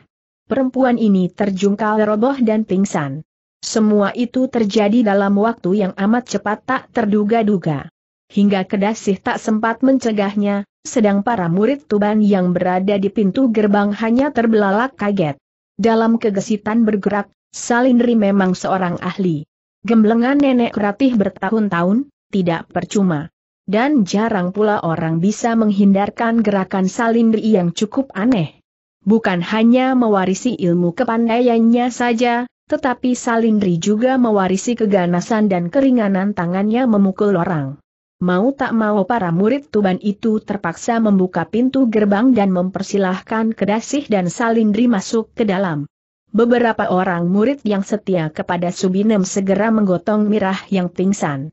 Sedang yang lain berlarian melapor kepada Subinem, di samping memukul tanda bahaya. Dengan sikap yang angkuh Salindri masuk ke dalam tanpa gentar sedikit pun. Kedasih hanya bila menghela napas menyaksikan sepak terjang adik angkatnya ini. Ia memang serba sulit. Sesungguhnya ia tidak menghendaki Salindri sembarangan turun tangan. Akan tetapi sayang sekali sikap mirah membuat perut panas dan orang tersinggung. Padahal ia tahu benar bahwa Salindri gampang marah dan tersinggung. Tangannya ringan dan tak gentar berhadapan dengan siapa pun. Diam-diam ia memuji juga kegesitan Salindri bergerak menghajar Mirah tadi. Hingga ia bisa mengukur, apabila nanti berhadapan dengan Subinem takkan mengecewakan. Tanda bahaya yang dipukul itu, dalam waktu singkat telah berhasil mengundang semua murid Tuban. Mereka segera membentuk barisan di halaman. Murid-murid itu terbagi dalam kelompok yang jumlahnya masing-masing 17 orang. Deretan terdepan enam orang, tengah lima orang dan belakang enam orang pula. Barisan-barisan seperti ini disebut lawang seketeng. Merupakan barisan yang tak mudah diatasi oleh setiap orang yang dikurung. Barisan murid Tuban yang tiap kelompok sebanyak 17 orang itu, jumlahnya amat banyak bersap-sap, berderet-deret dan semuanya memegang pedang terhunus. Sikap mereka angker. Mata mereka menjurus ke satu pusat. Kepada siapa yang dianggap lawan. Diam-diam kedasi khawatir sekali. Kalau harus berhadapan dengan barisan macam ini, sulitlah dia dan Salindri mengatasinya. Maka cepat-cepat ia menyentuh Salindri dan berbisik, agar tidak gegabah bertindak. Adikku yang baik, Bukankah musuh kita hanya Subinem, dan bukan semua murid Tuban benar Salindri mengangguk. Nah, kalau begitu kita tak harus bertempur melawan mereka. Tak ada artinya kita berpayah-payah saling bunuh dengan saudara-saudaraku yang tak berdosa, Salindri mengangguk lagi. Kedasih lega. Ia tersenyum, kemudian mengamati semua murid Tuban yang telah mengurung dengan bentuk barisan lawang seketeng yang bersap-sap dan angker itu. Salindri sekalipun galak dan ringan tangan, bukanlah perempuan tolol sekalipun otaknya agak terganggu. Begitu melihat barisan murid Tuban yang mengurung ini, Salindri tak berani gegabah. Maka sekarang ia berdiam diri dan menunggu apa yang akan dilakukan oleh Kedasi. Saudara-saudaraku semua, kata Kedasi dengan suara nyaring, dengarlah kalian, Aku dan adikku ini datang kemari bukan memusuhi kalian dan bukan memusuhi perguruan Tuban. Kami datang untuk membersihkan perguruan Tuban dari tangan-tangan kotor, bangsat Subinem dan pembantu-pembantunya yang hianat. Maka, laporkan kepada perempuan itu, dan suruh keluar. Aku ingin bicara dengan dia Haihik, sombongnya terdengar suara nyaring menyambut diiringi suara ketawa. Ketua takkan mau bertemu dengan sembarang orang. Lebih-lebih murid murtad seperti kau ini. Lebih baik lekaslah berlutut dan menyerah, sebelum kami bertindak dengan kekuatan, orang yang menyahut ini, perempuan bertubuh tinggi besar mirip dengan tubuh laki-laki. Kulitnya hitam, bibirnya tebal, dan suaranya agak besar. Dialah murid Tuban yang bernama Kanastren. Namanya begitu bagus, tetapi wajahnya tak begitu manis, malah bisa digolongkan kepada wajah wanita yang jelek. Padahal nama Kanastren ini kalau dalam cerita wayang, adalah salah seorang bidadari, dan disebut sebagai bidadari yang cantik. Bidadari Kanastren ini istri Semar. Tetapi walaupun kedudukannya hanya punakawan, Semar disebut pula Batara Ismaya. Salindri tak kuasa menahan mulutnya untuk tertawa, melihat Kanastren yang berdiri bertolak pinggang dengan sikap angkuh, tetapi berlindung di belakang barisan murid Tuban. Sesuai dengan tabiatnya Salindri segera mengejek. Hai hai hik, engkau ini perempuan ataukah laki-laki? Kalau perempuan, tubuhmu terlalu tinggi dan terlalu besar. Dan lehermu itu, mengapa punya jakun, kala menjing, seperti laki-laki? Hai hai hik, apakah kau ini bukan perempuan dan bukan laki-laki tetapi seorang wandu? Banci walaupun keadaan di waktu itu tegang, kedasih tak kuasa menahan mulutnya, ketawa terkekeh. Malah kemudian banyak murid Tuban yang tak kuasa menahan mulutnya pula ikut tertawa merasa geli mendengar kata-kata Salindri. Otomatis Kanastren meraba lehernya. Tetapi jari tangannya tidak menemukan jakun seperti yang disebut Salindri. Kenyataannya Salindri tadi hanya bermaksud mengejek saja. Melihat tubuh Kanastren yang tinggi besar, seperti laki-laki maka ia memperoleh kesempatan untuk mempermainkan. Tentu saja Kanastren yang kedudukannya merupakan pembantu Subinem pula, menjadi marah besar. Ia membanting-bantingkan kakinya, menuding-nuding Salindri, dan membentak kepada para murid Tuban. Diamkah semua, goblok. Apa kamu semua sudah ketularan gila perempuan berkedok itu kalau bukan gila masakan wajah ditutupi dengan kain dalam usahanya membalas kanastren mencari-cari. Tetapi balasan itu hanya ditertawakan saja oleh Salindri. Malah Salindri memperoleh kesempatan untuk mempermainkan lagi. Hai, hai, hik, perempuan bukan dan laki-laki bukan masih sempat bersanggul rapi dan menghaluskan rambut. Hai, hai, hik, Agaknya engkau tadi keliru menggunakan minyak. Bekas untuk menggoreng ikan asin kau pergunakan membasahi rambut. Lihat. Tuh, rambutmu dikerumuni lalat, sebenarnya sadar juga Kanastren bahwa orang itu hanya mempermainkan. Namun tangannya diangkat pula untuk mengusap rambut, karena seperti merasa banyak lalat mengerumuni kepala. Melihat itu Salindri terkekeh dan kedasih terpingkal-pingkal lebih-lebih bagi para murid Tuban yang telah bersepakat membantu Kedasi. Saking perutnya menjadi keras terpingkal-pingkal, tanpa disadari sudah terkencing-kencing di tempatnya sendiri. Kanastren menjadi marah sekali ia meloncat ke depan lewat di atas kepala beberapa orang murid Tuban. Sungguh hebat gerakan Kanastren ini. Walaupun tubuhnya tinggi besar, namun gerakannya ringan. Kanastren turun dan berdiri di atas tanah tanpa bersuara.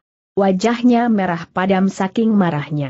Kemudian ia menuding Salindri sambil membentak, kunyuk tak tahu aturan. Hayo katakanlah dahulu siapa namamu dan dari perguruan mana, kau berani mengacau perguruan kami memang di dalam perguruan Tuban, Kanastren ini tingkatnya cukup tinggi. Ia seperti juga Sarni. Mirah, Kedasih, Suhinem dan Rara Inten merupakan murid angkatan pertama. Merupakan murid langsung Nenek Anjani. Kepandaiannya cukup tinggi, dan kalau dengan kedasih tingkatnya sejajar. Sudah tentu sebagai orang yang kedudukannya cukup tinggi DJ seperti ini akan segera mencak-mencak. Ia malu sekali kepada adik-adik perguruan dan kemenakan perguruan yang menyaksikan. Salindri terkekeh, hai hai hik, engkau tak ada harganya bagiku. Untuk apa menyebut nama dan asal-usulku? Lekas panggil Subinem kemari untuk menentukan siapa yang lebih unggul ketika itu sebenarnya Subinem sudah memperoleh laporan juga tentang datangnya kedasi dengan seorang perempuan yang ingin bertemu. Akan tetapi karena Subinem mengira yang datang Rara Inten maka ia cepat memerintahkan Kanastren supaya menyambut dengan barisan lawang seketeng. Namun diam-diam ia pun mengintai dari pendapa untuk melihat siapakah orang perempuan berkedok kain hitam itu. Secara diam-diam Subinem tadi telah mengutus dua orang murid Tuban, supaya pergi ke rumah Kadipaten untuk minta bala bantuan. Akan tetapi sekarang Subinem menjadi lega ketika melihat bahwa perempuan berkedok itu bukan Rara Inten. Kalau bukan Rara Inten, tiada alasan takut. Maka Subinem segera keluar dari tempatnya mengintai lalu memerintahkan beberapa orang murid supaya mengusung kursi kebesaran ketua perguruan Tuban, dibawa ke pendapa. Ia duduk di atas kursi dengan sikapnya yang agung, meniru lagak putri bangsawan tinggi. Ia mengangguk-angguk ketika melihat Kanestren meloncat ini, lalu berhadapan dengan perempuan berkedok itu. Ia ingin melihat dulu sebelum turun tangan sendiri. Apakah perempuan berkedok ini cukup berharga berhadapan dengan seorang ketua perguruan besar seperti dirinya? Ia tersenyum mengejek ketika mendengar orang berkedok itu menantang dirinya. Katanya lirih ditujukan kepada delapan murid yang mengawal di dekatnya, kamu dengar? Huhuh, betapa sombongnya perempuan ini. Berani menantang ketua perguruan Tuban yang besar tanda tanya. Lihat saja nanti, jika aku turun tangan sendiri, dalam tiga gebrakan saja bangsat itu tentu sudah kubikin terjungkal murid-murid Tuban itu mengangguk-angguk seperti burung onta, sekalipun dalam hati kurang percaya. Benarkah Subinem dapat merobohkan orang itu hanya dalam tiga gebrakan saja? Mereka semua tahu bahwa tingkat Subinem memang cukup tinggi. Buktinya telah si dahulu roboh tewas di tangan Subinem. Akan tetapi, Mungkinkah perempuan berkedok itu tingkatnya hanya seperti telasi? Kalau melihat ketabahan dan ketenangannya, tentunya bukan wanita sembarangan. Semua mata tertuju kepada kanastren dan perempuan berkedok itu dengan hati tegang. Lalu terdengar kata kanastren yang angkuh, hem, perempuan sombong. Sampai di mana ketinggian ilmumu berani kurang ajar di sini kau ingin mencoba aku? Terimalah. Plak seperti yang terjadi atas diri Mirah tadi tahu-tahu pipi kanastren telah biru dan bengkak terpukul tinju salindri. Gerakan salindri tadi gesit sekali. Dan kanastren juga tidak mau begitu saja menyerah untuk dipukul. Namun ternyata usahanya sia-sia. Walaupun dia sudah cukup tangkas menghindarkan diri, namun pipi kirinya menjadi makanan tinju salindri. Gerakan salindri cukup aneh. Maka Kanasten yang tak pernah menduga, sudah memperoleh hadiah bogem mentah. Murid-murid Tuban yang menyaksikan berseru tertahan saking heran. Mengapa sekali gebrak telah terpukul? Hampir mereka tak mau percaya. Demikian pula Subinem yang duduk di kursi kebesarannya di pendapa, terbelalak kaget. Benarkah yang dilihat? Sekali gebuk kanestren sudah terpukul? Tentu saja Kanastren menjadi amat marah sekali. Sering. Tahu-tahu pedangnya sudah tercabut dan terpegang tangan kanan. Pedang itu diangkat mencuat ke atas, sedang punggung pedangnya menyentuh hidung. Inilah sikap murid Tuban setiap akan memulai menggunakan ilmu pedang janur kuning. Sambil bersikap demikian, Kanastren sudah menantang, cabutlah pedangmu. Hayo kita tentukan lebih dulu, Siapa di antara kita yang lebih kuat salindri terkekeh? Ia belum mencabut senjatanya, dan mengejek. Benarkah engkau berani melawan aku? Hem, aku khawatir kalau pedangku mencium darahmu. Maka lebih baik suruhlah Subinem melawan aku, melihat sekali gebrak kanastren terpukul, sesungguhnya Subinem khawatir kalau kanastren kalah. Kekalahan itu bisa menurunkan martabat perguruan Tuban yang besar. Memikir demikian, ia cepat mengutus seorang murid Tuban, perintahkan Kanastren mundur murid itu segera berlarian. Di depan pendapa ia sudah berteriak nyaring, memerintahkan Kanastren mundur. Mendengar perintah ketua itu, dengan bersungut-sungut Kanastren terpaksa menyarungkan pedangnya lagi, lalu mundur dengan kepala tunduk. Sesaat kemudian terdengar suara nyaring langsung dari dalam pendapa. Ternyata suara nyaring itu, suara Subinem sendiri. Siapa berani jual lagak di tempat ini? Lebih baik cepatlah enyah dari sini. Kasihan kalau kedatanganmu hanya mengantarkan nyawa, Salindri dan Kedasih mengangkat muka memandang ke pendapa. Tampak oleh mereka Subinem duduk pada kursi kebesaran dengan sikapnya yang agung. Sebelum Kedasih maupun Salindri membuka mulut, sudah terdengar lagi suara Subinem yang nyaring, Hai murid Tuban. Tangkaplah perempuan khianat itu. Kemudian jeboskanlah ke dalam penjara bawah tanah mendengar perintah Subinem itu, murid-murid Tuban berbisik. Bagi yang tidak suka kepada Subinem, hal itu bertentangan dengan perasaan hatinya. Sedang bagi yang setia kepada Subinem, mereka menjadi ragu-ragu. Sebaliknya, Salindri dan Kedasih telah meraba hulu pedangnya, kalau memang terpaksa harus bentrok dengan para murid Tuban, apa boleh buat. Mereka hanya membela diri, dan tidak menghendaki saling bunuh antara saudara sendiri pada saat yang menegangkan dan mendebarkan hati itu mendadak terdengar suara nyaring dari atas tembok tahan suara itu nyaring sekali, dan mereka yang mendengar otomatis mengarahkan pandang mati mereka ke arah suara. Semua mata terbelalak ketika melihat bahwa yang muncul dan berteriak itu Rara Inten. Betapa gembira kedasih tak terlukiskan lagi melihat munculnya Rara Inten pada saat yang amat tepat. Tiba-tiba saja ia berteriak.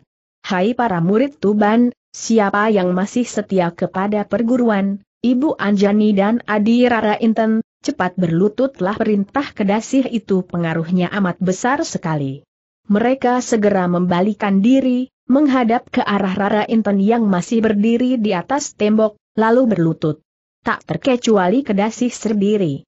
Yang berlutut itu bukan hanya mereka yang selalu setia saja.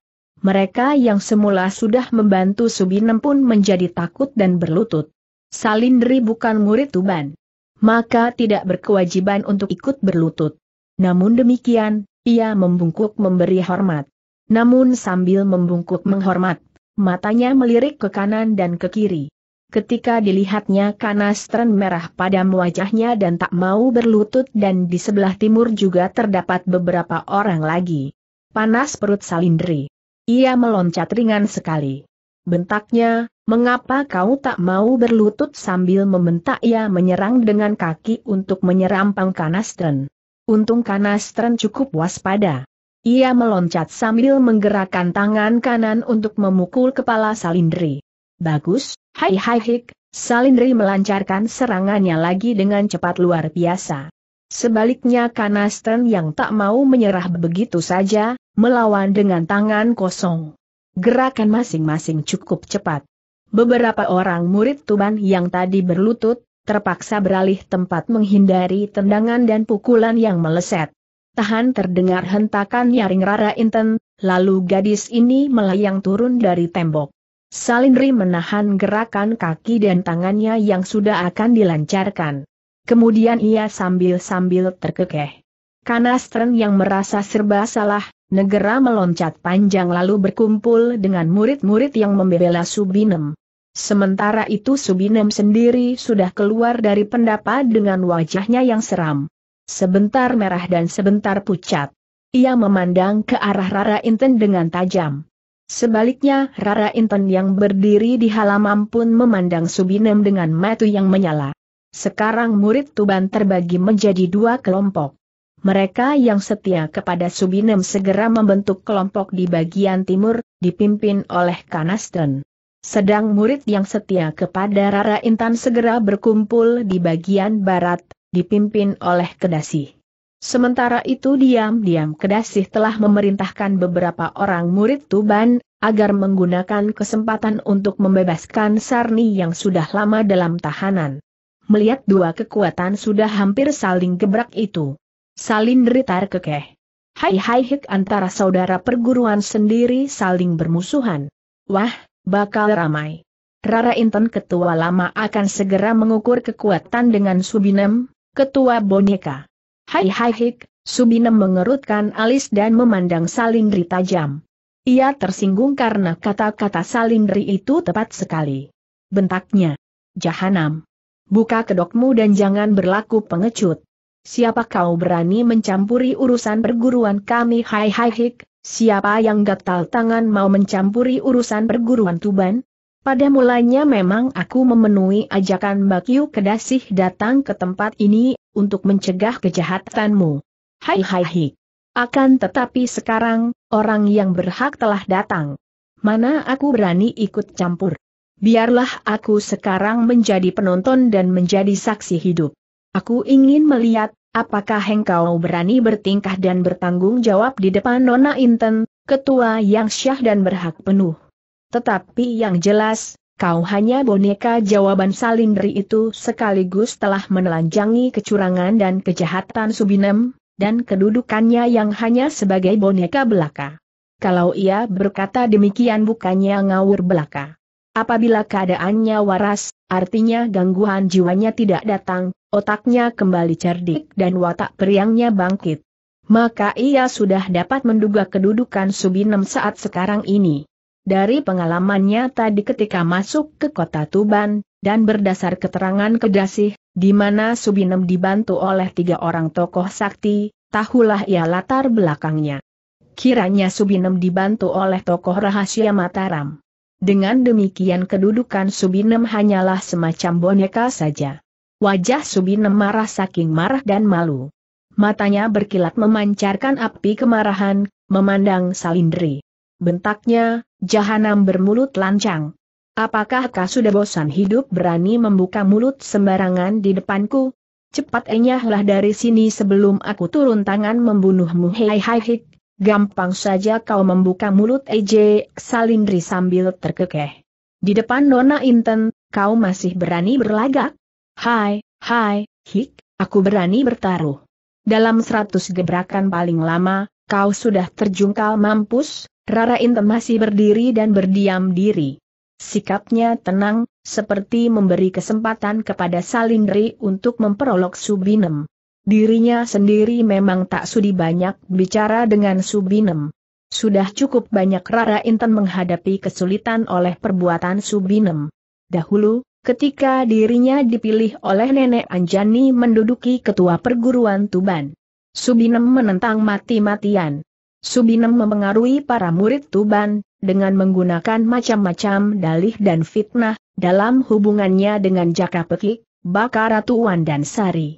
Dan ia ingat pula akan nasib Andang Bratajaya, yang menemui ajalnya di tangan gurunya sendiri, sebagai akibat mulut Subinem yang gatal. Maka apabila berhadapan dengan perempuan wajah jelek ini ia tidak sudi banyak membuka mulut sebaliknya, Subinem seorang perempuan cerdik dan licin. Kesempatan ini malah dipergunakan sebaik-baiknya untuk mengulur waktu. Ia tadi secara diam-diam telah mengutus beberapa orang murid Tuban pergi ke Kadipaten. Maksudnya untuk minta bala bantuan. Kalau Ratuhan dan Sari dan pengawalnya masih di rumah Kadipaten, kiranya akan bisa menolong kesulitannya. Akan tetapi ternyata yang ditunggu itu belum juga datang maka mengulur waktu adalah lebih baik. Hem, Subinem mendengus dingin. Jangan kau membuka mulut sembarangan, dan memutar-balikan bukti dan kenyataan. Aku ingin bertanya, siapakah yang tak setia kepada perguruan? Aku ataukah Inten? Hai, hai hik, para murid Tuban, dengarlah baik-baik. Kita tentunya masih ingat bahwa sudah berpuluh-puluh tahun yang lalu, perguruan Tuban merupakan musuh bebuyutan siluman gagak rimang. Sejak dulu, aku sudah tak percaya akan iktikat baik Inten. Dan kemudian ternyata dugaanku benar belaka. Hai, hai, hik, mengapa Inten yang mestinya meneruskan perjuangan Ibu Anjani malah berkhianat?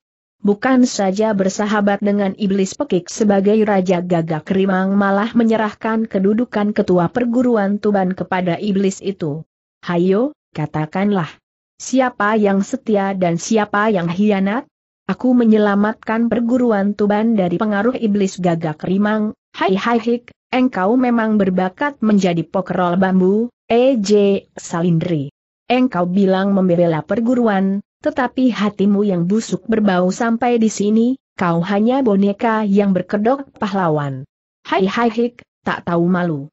Kau bilang membela perguruan Tuban supaya bersih dari pengaruh gagak rimang? Hai hai hik bagus. Apakah gagak rimang itu jahat? Apakah gagak rimang gerombolan siluman seperti tuduhanmu? Hayo bantahlah, siapa yang telah menyelamatkan puluhan tokoh sakti dari penjara Mataram? Katakanlah, siapa? Bukan lain pekik, Raja Gagak Kerimang. Engkau biasa saja menuduh Gagak Kerimang jahat. Namun buktinya, beberapa perguruan mengakui kegagahan pekik dan Gagak Kerimang. Hai hai hik, malah pondok beligo sendiri tak malu-malu menempatkan diri di bawah pengaruhnya. Apakah para tokoh Islam di pondok beligo itu sudah tolol, jika menurut tuduhan Musalindri mendelik ke arah Subinem? Kemudian terusnya, diakui atau tidak, pekik dan gagak kerimangnya yang telah besar sekali jasanya. Maka sudah pantas dan tepat pula apabila Nona Inten menyerahkan kedudukan ketua perguruan Tuban kepada Pekik.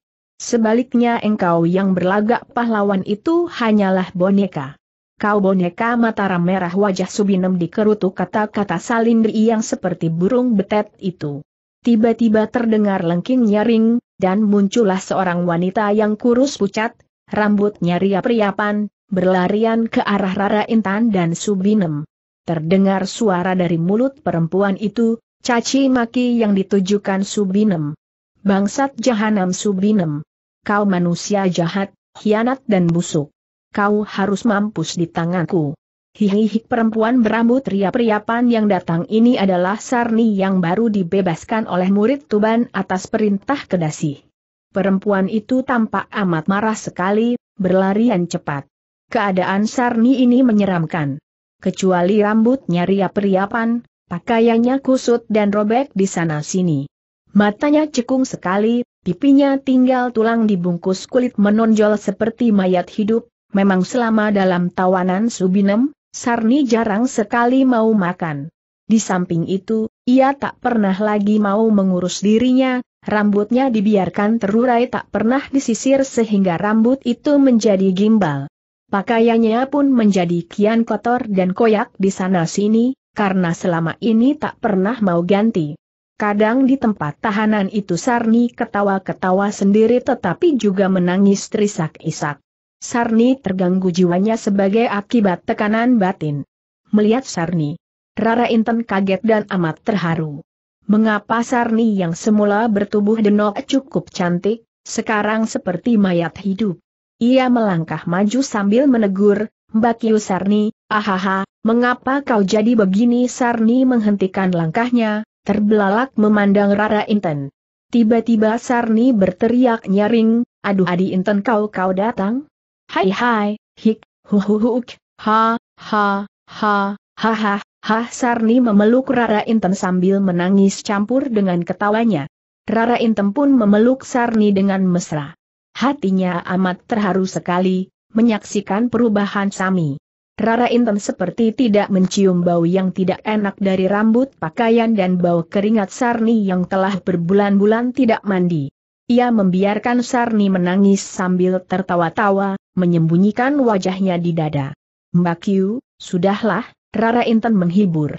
Aku sudah datang, kau tak perlu khawatir lagi, Sarni mengangkat mukanya, menatap Rara Inten sambil terkekeh di tengah-tengah isaknya. Adi, Adi Inten, mengapa kau baru datang? Oh haha, Subinem hianat. Aku ditawan. Hai, hai, hik hai, hai, hik. Kurang ajar dia. Kejam dan tak tahu malu. Dia pernah memaksa aku, ditelanjangi dan dibuat tontonan murid laki-laki, hai, hai, hik, hi, hi, huh. Mendengar cara bicara Sarni ini, tahulah Rara Inten bahwa perempuan ini terganggu jiwanya. Akan tetapi yang membuat ia kaget kata-kata terakhir itu. Benarkah Subinem sanggup melakukan perbuatan itu? Menelanjangi Sarni dan dibuat tontonan murid laki-laki. Perbuatan ini sungguh menusuk perasaan Rara Inten. Ia menatap Subinem dengan mata berapi-api. Subinem. Benarkah apa yang telah dikatakan Mbak Yusami ini? Kau sanggup berbuat seperti itu Rara Inten tak sanggup mengulang kata-kata Sarni tadi. Maka ia hanya mengatakan begitu. Subinem terkekeh. Sahutnya dingin, hem, orang gila itu? Mulut orang gila bisa saja mengucapkan fitnah walaupun jiwanya terganggu, Sarni masih bisa menangkap kata-kata Subinem. Ia memalingkan muka kemudian menghadapi Suhinem dengan jari tangan tergenggam dan mata berapi. Jahanam, hai, hai, hik, kau bilang apa? Aku memfitnah, hai, hai, hik, kau mungkir? Ku bunuh, kau tanda seru wah, jahat sekali Salindri yang sejak tadi berdiam diri membuka mulut. Untung aku bukan Nona Inten. Kalau aku, hem, orang jahat begitu tentu ku balas. Ku telanjangi biar kapok. Hai, hai, hik. Rara Inten mendelik ke arah Salindri. Tetapi tak membuka mulut. Setelah ia menebarkan pandang matanya kepada para murid Tuban yang berdiri di belakang Subinem katanya perlahan tetapi bersungguh-sungguh, Hai, para murid Tuban yang berdiri di belakang Subinem. Pilihlah dan tentukan dirimu sebelum terlanjur. Kalian berdiri di belakang pengkhianat, atau berdiri di belakangku kata-kata Rara Inten itu berwibawa dan berpengaruh besar. Untuk beberapa saat keadaan menjadi sepi dan lengang, tiada suara terdengar. Keadaan menegangkan dan para murid Tuban yang berdiri di belakang Rara Inten mengamati saudara-saudaranya itu dengan hati yang berdebar. Setelah keadaan sunyi beberapa saat, terjadilah kesibukan dan berisik. Pada mulanya hanya satu dua orang saja yang cepat meninggalkan tempat itu, berpindah tempat di belakang Rara Inten. Namun kemudian mereka berbondong, bergegas, dan di dalam waktu tak lama di belakang Subinem hanya tinggal sembilan orang saja yang masih tetap, termasuk Kanasten. Subinem yang kehabisan anak buah itu masih mencoba menenangkan hatinya sambil tetap mengharap datangnya bantuan dari rumah Kadipaten. Sedangkan Aston yang berdiri dekat dengan Subinem, wajahnya sebentar merah sebentar pucat. Perempuan ini hatinya berdebar gelisah. Kalau saja tidak malu sebenarnya ia ingin menyeberang dan berbalik kepada Rara Inten. Demikian pula delapan orang murid yang lain mempunyai pikiran yang sama dengan Kanastren ini. Akan tetapi apabila ingat akan sikap-sikap mereka selama ini, Sesudah menjadi orang-orang kepercayaan Subine mereka khawatir sendiri. Khawatir kalau saudara-saudaranya yang dulu pernah dipukul dan disakitkan hatinya, membalas pada kesempatan ini Salindri tak dapat menahan mulutnya hai hai hik, siapa salah mesti seleh, siapa salah tentu kalah. Hampir tiba saatnya kau, Subinem, memetik buah dari tanamanmu sendiri, di antara murid Tuban itu ada yang tertawa-tawa kecil dan senang sekali, mendengar kata-kata Salindri yang selalu membuat Subinem mati kutu. Sedang Kedasih sendiri, diam-diam makin senang kepada adik angkatnya ini yang benar-benar membantu usahanya merebut kembali perguruan Tuban dari pengkhianatan Subinem. Keadaan Subinem sekarang telah terjepit. Ia hampir kehilangan semua pengikut, dan di samping itu bantuan yang ditunggu belum juga tiba.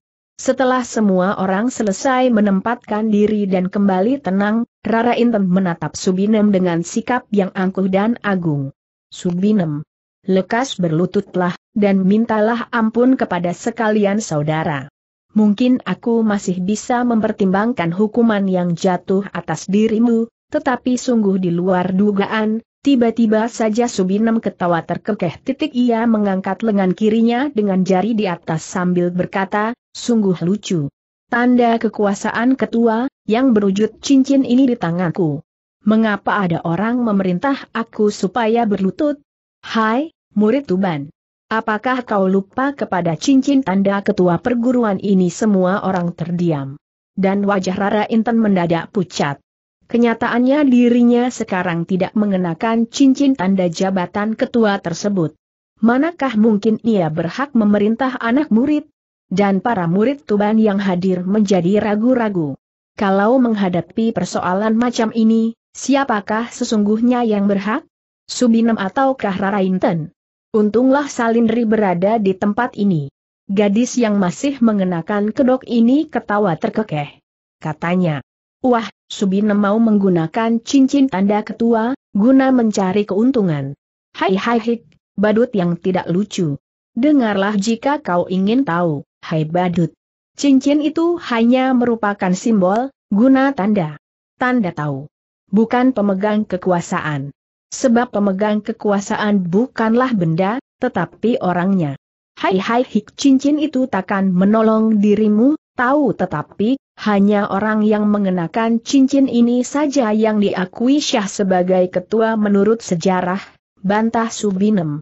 Hai hai hik, siapa yang tahu kalau benda cincin yang kau jadikan pelindung itu bukan palsu? Kalau orang hanya mendasarkan kepada benda tersebut, akan timbul hal-hal menggelikan. Hai Subinem, coba jawablah pertanyaanku. Andai kata, pada suatu malam cincin itu dicuri orang. Kemudian cincin tersebut dipakai si maling. Apakah si maling berhak mengaku sebagai ketua itu lain bentak Subinem marah, aku bukan maling, tetapi memiliki tanda jabatan ini secara syah, syah katamu. Dengan berkhianat kau anggap perbuatan syah? Dengan paksa engkau merebut cincin tanda ketua itu kan berkukuh, menganggap syah? Hai hai hik, hanya orang gila saja yang dapat mengikuti pendapatmu. Sekarang dengarkan kataku. Cincin tanda ketua itu tak akan ada gunanya tanpa pengakuan dari anggota. Katakanlah sekarang, anggota yang berpihak kepada Nona Inten jauh lebih banyak. Apakah engkau tidak malu menyatakan diri sebagai ketua betul? Kita mengakui Adi Inten sebagai ketua, terdengar suara menyambut dari sudut. Kemudian menyusul suara yang riuh, menyatakan memilih Inten kembali sebagai ketua. Riuh suara itu, saling sahut dengan nada sama. Mendengar itu bangkit kembali semangat Rara Inten, nah, engkau mendengar. Yang penting bukanlah cincin itu. Tetapi pengakuan anak murid. Apakah engkau masih akan membandel? Subinem. Insyaflah sebelum terlambat pada saat Subinem dalam keadaan terpojok ini tiba-tiba terdengar suara ketawa terkekeh dari atas tembok pekarangan. Lalu terdengar orang berkata, anak Subinem, jangan takut. Kedudukan ketua perguruan Tuban hanya bisa diakui syah kedudukannya dengan mengadu kepandaian. Siapa menang, dialah yang kuasa, belum juga lenyap suara itu, telah melayang tiga sosok tubuh yang amat ringan, kemudian berdiri di samping Subinem. Semua orang kaget, kemudian berisik. Semua murid Tuban mengenal siapakah tiga orang yang datang ini. Hestiwiro, Sawung Rana dan Reksogati. Tiga orang tokoh rahasia Mataram, pengawal setia Ratu Wan dan Sari. Kedasih yang tadi sudah merasa pasti usahanya berhasil, mendadak menjadi amat khawatir sekali dan wajahnya pucat. Ia sudah tahu sampai di mana kesaktian tiga tokoh Mataram ini. Manakah mungkin Rara Inten dan Salindri sanggup melayani? Rara Inten pun berdebar. Namun ia masih tetap bersikap tenang. Ia menyapu dengan pandang matanya ke arah tiga orang yang datang itu. Kemudian tegurnya, siapakah kalian ini? Urusan perguruan Tuban, adalah urusan rumah tangga sendiri. Mengapa kalian orang luar lancang tangan mencampuri kalau Rara Inten tidak mengenal lagi tiga orang tokoh ini, sebaliknya tiga orang hamba Mataram itu belum lupa. Kata Reksogati. Hei, Bukankah nona ini Rara Inten? Uaha, telah amat lama kita tak berjumpa. Pantas nona sudah lupa kepada kami, Rara Inten mengerutkan alis berusaha mengingat-ingat. Dan Reksogati masih menolong memperkenalkan diri. Hebat, Rara Inten mendengus dingin. Jadi kalian mengandalkan kebesaran Mataram, mau memaksakan kehendak sendiri kepada rumah tangga orang lain? Hem selama Rara Inten masih hidup, Jangan harap engkau dapat berbuat sesuka hatimu di sini, hehehe, sawung rana terkekeh, jangan engkau bicara sembarangan nona. Apakah engkau tak mau tahu bahwa Tuban ini, merupakan wilayah Mataram? Dan di sini Kangjeng Sultan Agung mempercayakan kepada Kangjeng Adipati. Nah, jika engkau tidak membuta tuli, para kawula harus tunduk dan patuh kepada penguasa yang syah. Apakah engkau memang sengaja tak mau tunduk dan mau memberontak kepada Mataram? Gusti Kangjeng Ratuhan dan Sari telah mempercayai Subinem memimpin perguruan Tuban. Siapakah yang dapat menentang dan melawan? Siapa yang menentang dan melawan berarti memberontak kepada Mataram, mendengar disebutnya nama Ratuhan dan Sari itu, mengertilah Rara Inten sekarang akan sebabnya Subinem dapat merebut kedudukan di sini. Maka tidak aneh pula, sekarang tiga orang tokoh rahasia Mataram ini berusaha melindungi. Tiba-tiba saja Rara Inten terkekeh. Hihihi, hebat, hebat. Ternyata Subinem tidak berdiri sendiri. Ternyata benar Subinem hanyalah boneka Mataram. Hem, urusan ini adalah urusan rumah tangga perguruan yang tak berboleh dilanggar semau-maunya. Tak peduli siapa yang berdiri di belakang Subinem. Pendeknya aku merasa berhak mengadili Subinem. Kami tidak mempunyai maksud melawan Mataram, apalagi memberontak. Namun sebaliknya kami takkan begitu saja menyerah apabila kedaulatan kami dilanggar orang. Pendeknya kami tiada urusan dengan Mataram. Di sini kami bicara urusan rumah tangga antara saudara sendiri. Mengapa kalian mau memaksakan kehendak sendiri tiba-tiba Salindri terkekeh nyaring, hai hai hik, benar dugaanku putri siluman itulah yang menjadi biang keladi. Wah, hebat. Akal bulus tepat dugaanku, bahwa perguruan Tuban dijadikan alat guna menaklukkan Tuban, Sawung Rana mendelik marah. Hai, siapa kau berani lancang mulut di depan kami? Kau berani mencaci junjunganku. Buka kedokmu.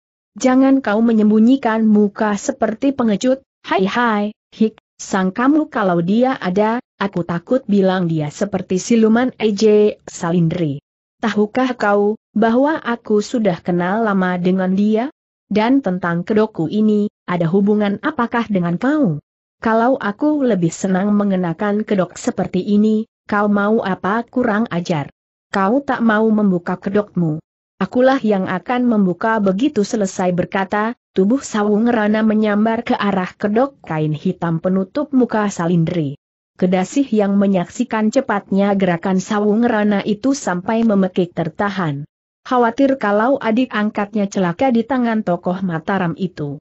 Namun walaupun Salindri ceriwis, tampaknya sembrono, pandai mengejek, liar, tetapi juga tak gampang dipedayakan orang. Seperti kapas ringannya ia sudah melesat ke samping sambil mengejek kau mau apa sambil menghindar ke samping dan mengapung di udara pula, kakinya bergerak membalas serangan orang dengan tendangan kilat. Untung yang diserang seorang tokoh sakti. Tangannya diangkat menangkis dan sekaligus mencengkeram. Terpaksa Salindri menarik kembali kakinya, dan berdiri beberapa meter jauhnya dengan Sawung Rana. Sawung Rana melengak heran. Sungguh tak pernah diduganya, bahwa perempuan berkedok ini dapat bergerak secepat itu. Akan tetapi dari heran ia menjadi penasaran dan marah, begitu mendengar suara ketawa beberapa orang murid Tuban. Jelas bahwa suara ketawa yang riuh itu mentertawakan dirinya, yang luput menyambar kedok salindri. Terdorong marah dan penasaran. Sawung Rana yang masih berangasan ini menjadi lupa. Lupa bahwa dirinya seorang tua, seorang tokoh yang namanya sudah tenar telah mendahului menyerang seorang muda seperti kilat cepatnya ia kembali menerjang Sandri. Terjangan itu menerbitkan angin yang kuat, menyambar beberapa orang murid Tuban di situ. Beberapa orang memekik dan roboh pingsan. Lalu terjadilah keributan dan beberapa orang murid Tuban itu ketakutan menyingkir. Di tempat itu segera terbuka gelanggang yang cukup luas. Reksogati dan Hestiwiro tidak mencegah apa yang dilakukan Sawung Rana. Apa yang telah dimulai Sawung Rana, diam-diam malah mereka mendukung. Memang keributan itu yang mereka kehendaki. Di pihak lain, Kedasi dan beberapa orang murid Tuban menyesalkan kesembronoan Salindri, berani berhadapan dengan tokoh sakti itu. Hanya Rara Inten yang tenang, tenang saja. Soalnya Rara Inten tidak mempunyai ikatan apa-apa dengan Salindri. Malah di balik sikapnya yang baik itu sebenarnya masih menyimpan perasaan malu, jika ia teringat perbuatannya dulu berusaha membunuh Salindri. Maka melihat Salindri telah bergebrak dengan Sawung Rana, ia tidak peduli. Mati dan hidup, kalah dan menang, bukanlah urusan dan tanggung jawabnya. Tetapi Salindri adalah seorang gadis yang tabah, berani dan tak pernah mengenal takut.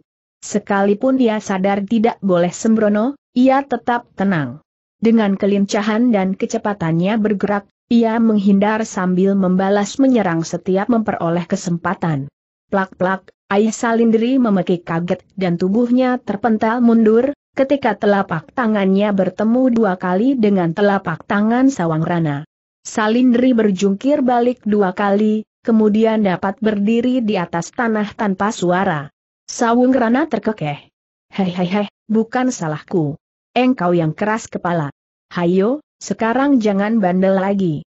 Buka kedokmu, dan aku takkan mendesak, akan tetapi manakah mungkin Salindri mau mengalah?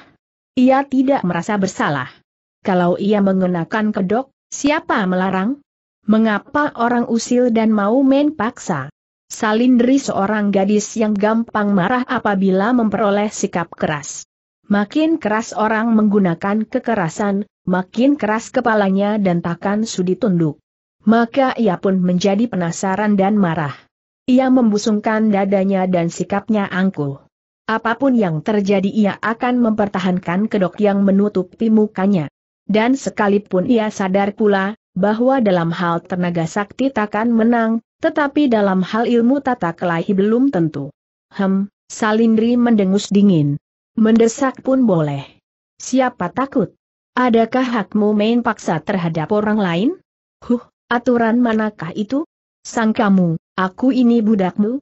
Hai hai hik tak tahu malu huh huh. Aku ingin melihat apakah engkau bisa mempertahankan kedokmu bentak sawung rana dan secepat tatit ia telah melesat ke depan menyerang Salindri. Tetapi sungguh Sawung Rana kecelik dan amat penasaran.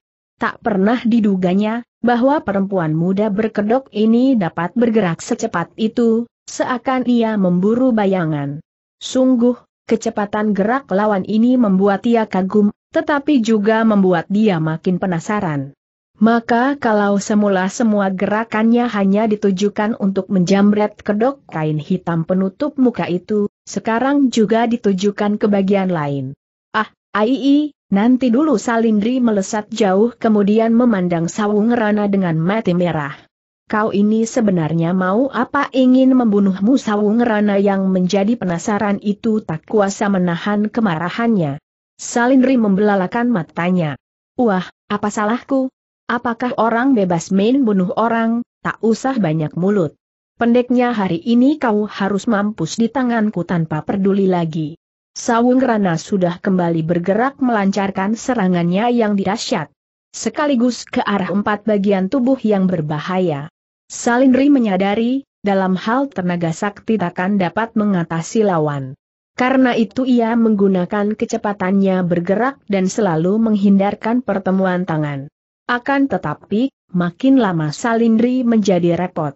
Baru sambaran angin pukulannya saja sudah membuat dadanya sesak. Taklah mengherankan apabila sambaran angin pukulan Sawung Rana mengandung hawa yang panas. Dalam penasarannya Sawung Rana menjadi lupa daratan. Ia sudah menggunakan pukulan-pukulan yang mengandung aji dahana muncar. Dalam usahanya menolong diri, Salindri segera mencabut pedangnya. Dengan bantuan pedangnya ini, walaupun ia terdesak, namun masih memperoleh kesempatan menolong diri. Sawung Rana terkekeh-kekeh mengejek dan mendesak terus. Gelanggang pertempuran yang tak seimbang ini makin bergeser agak jauh dengan tempat semula. Namun karena banyak di antara para anak murid Tuban dan Kedasi khawatir akan keselamatan Salindri, banyak di antara mereka yang memburu mendekati.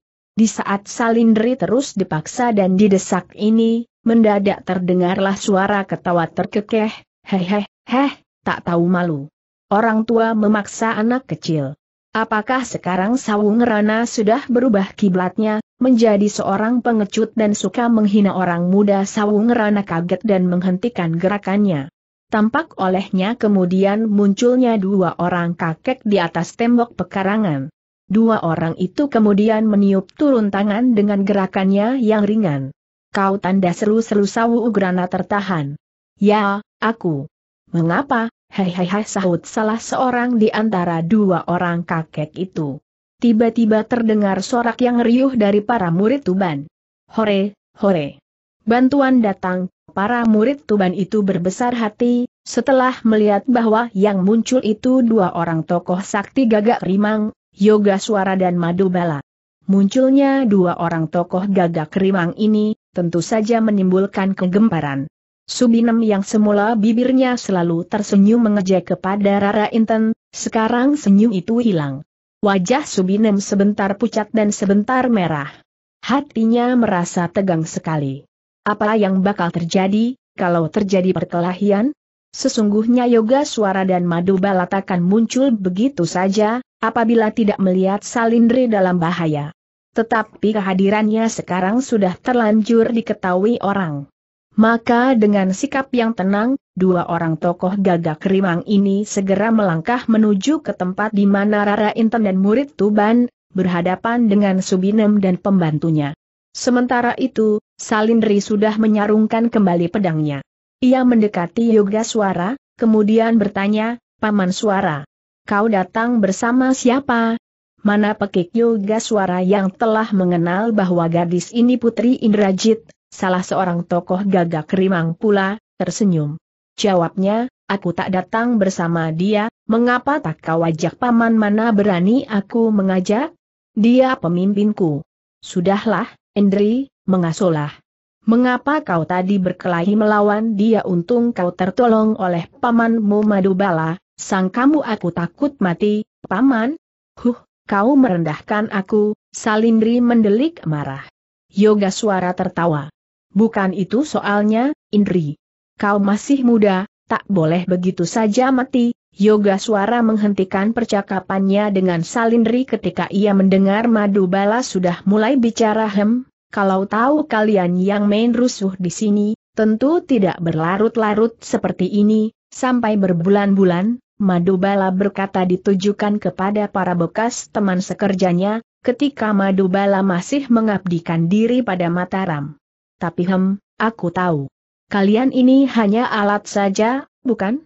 Sekedar melakukan tugas dan perintah junjunganmu bukan hehehe, kalau benar kau mau apa Hestiwiro mengejek, kalau gagak kerimang sudah main rusuh, mengapa kami tidak? Bicara tentang perguruan Tuban, kami yang lebih berhak daripada pihakmu. Tuban telah dikalahkan Mataram. Setiap daerah yang sudah takluk penghuninya harus tunduk kepada kami maka perguruan Tuban pun kami yang berhak mengurusi dan mengaturnya, uaha uaha, sombongmu, Hestiwiro. Sejak kapan ada peraturan seperti ini? Yang main paksa dan main menang-menangan? Pendeknya begini. Kita selesaikan soal perguruan Tuban ini secara baik. Artinya begini. Kita adalah orang-orang luar yang berhak berurusan adalah orang dalam sendiri. Kita cukup menjadi saksi saja, hehehe, kau pengecut ejek Herstiwiro. Kau main lidah tak bertulang. Sudah aku katakan tadi bahwa dengan jatuhnya Tuban, kami berhak mengatur penghuni Tuban menurut cara kami sendiri. Dan karena kami menganggap bahwa perguruan Tuban ini lebih tepat dipimpin oleh anak Subinem, maka dialah yang kami tetapkan sebagai ketua. Ini urusan kami, tak seorang pun berhak menghalangi. Barang siapa melawan berarti terang-terangan telah memberontak, Rara Inten ketawa terkekeh. Nyaring dan panjang. Beberapa orang murid Tuban kaget dan terpelanting jatuh terguling. Ketawa Rara Inten memang bukan ketawa sewajarnya. Akan tetapi mengandung tenaga sakti tingkat tinggi. Saking marahnya perempuan ini menjadi lupa dan baru sadar dan menghentikan suara ketawanya setelah melihat beberapa saudara perguruannya roboh terguling. Siapa takut dicap pemberontak? Siapa takut kepada Mataram? Kalau kalian menuduh kami berontak, baik. Kami pemberontak. Mau apa? Jangan kalian menggoyang lidah seenaknya sendiri. Siapa yang tak mendengar dan tak tahu bahwa setiap urusan perguruan merupakan urusan rumah tangga? Mengapa hendak bersikeras mau mencampuri? Aku adalah ketua perguruan Tuban Yang Syah, sesuai dengan amanat terakhir Ibu Guru Anjani. Siapa yang tak tahu? Bukti nyata kalian lihat sendiri. Beberapa jumlah anak murid Tuban yang berpihak kepadaku, dan berapa yang berpihak kepada Subinem.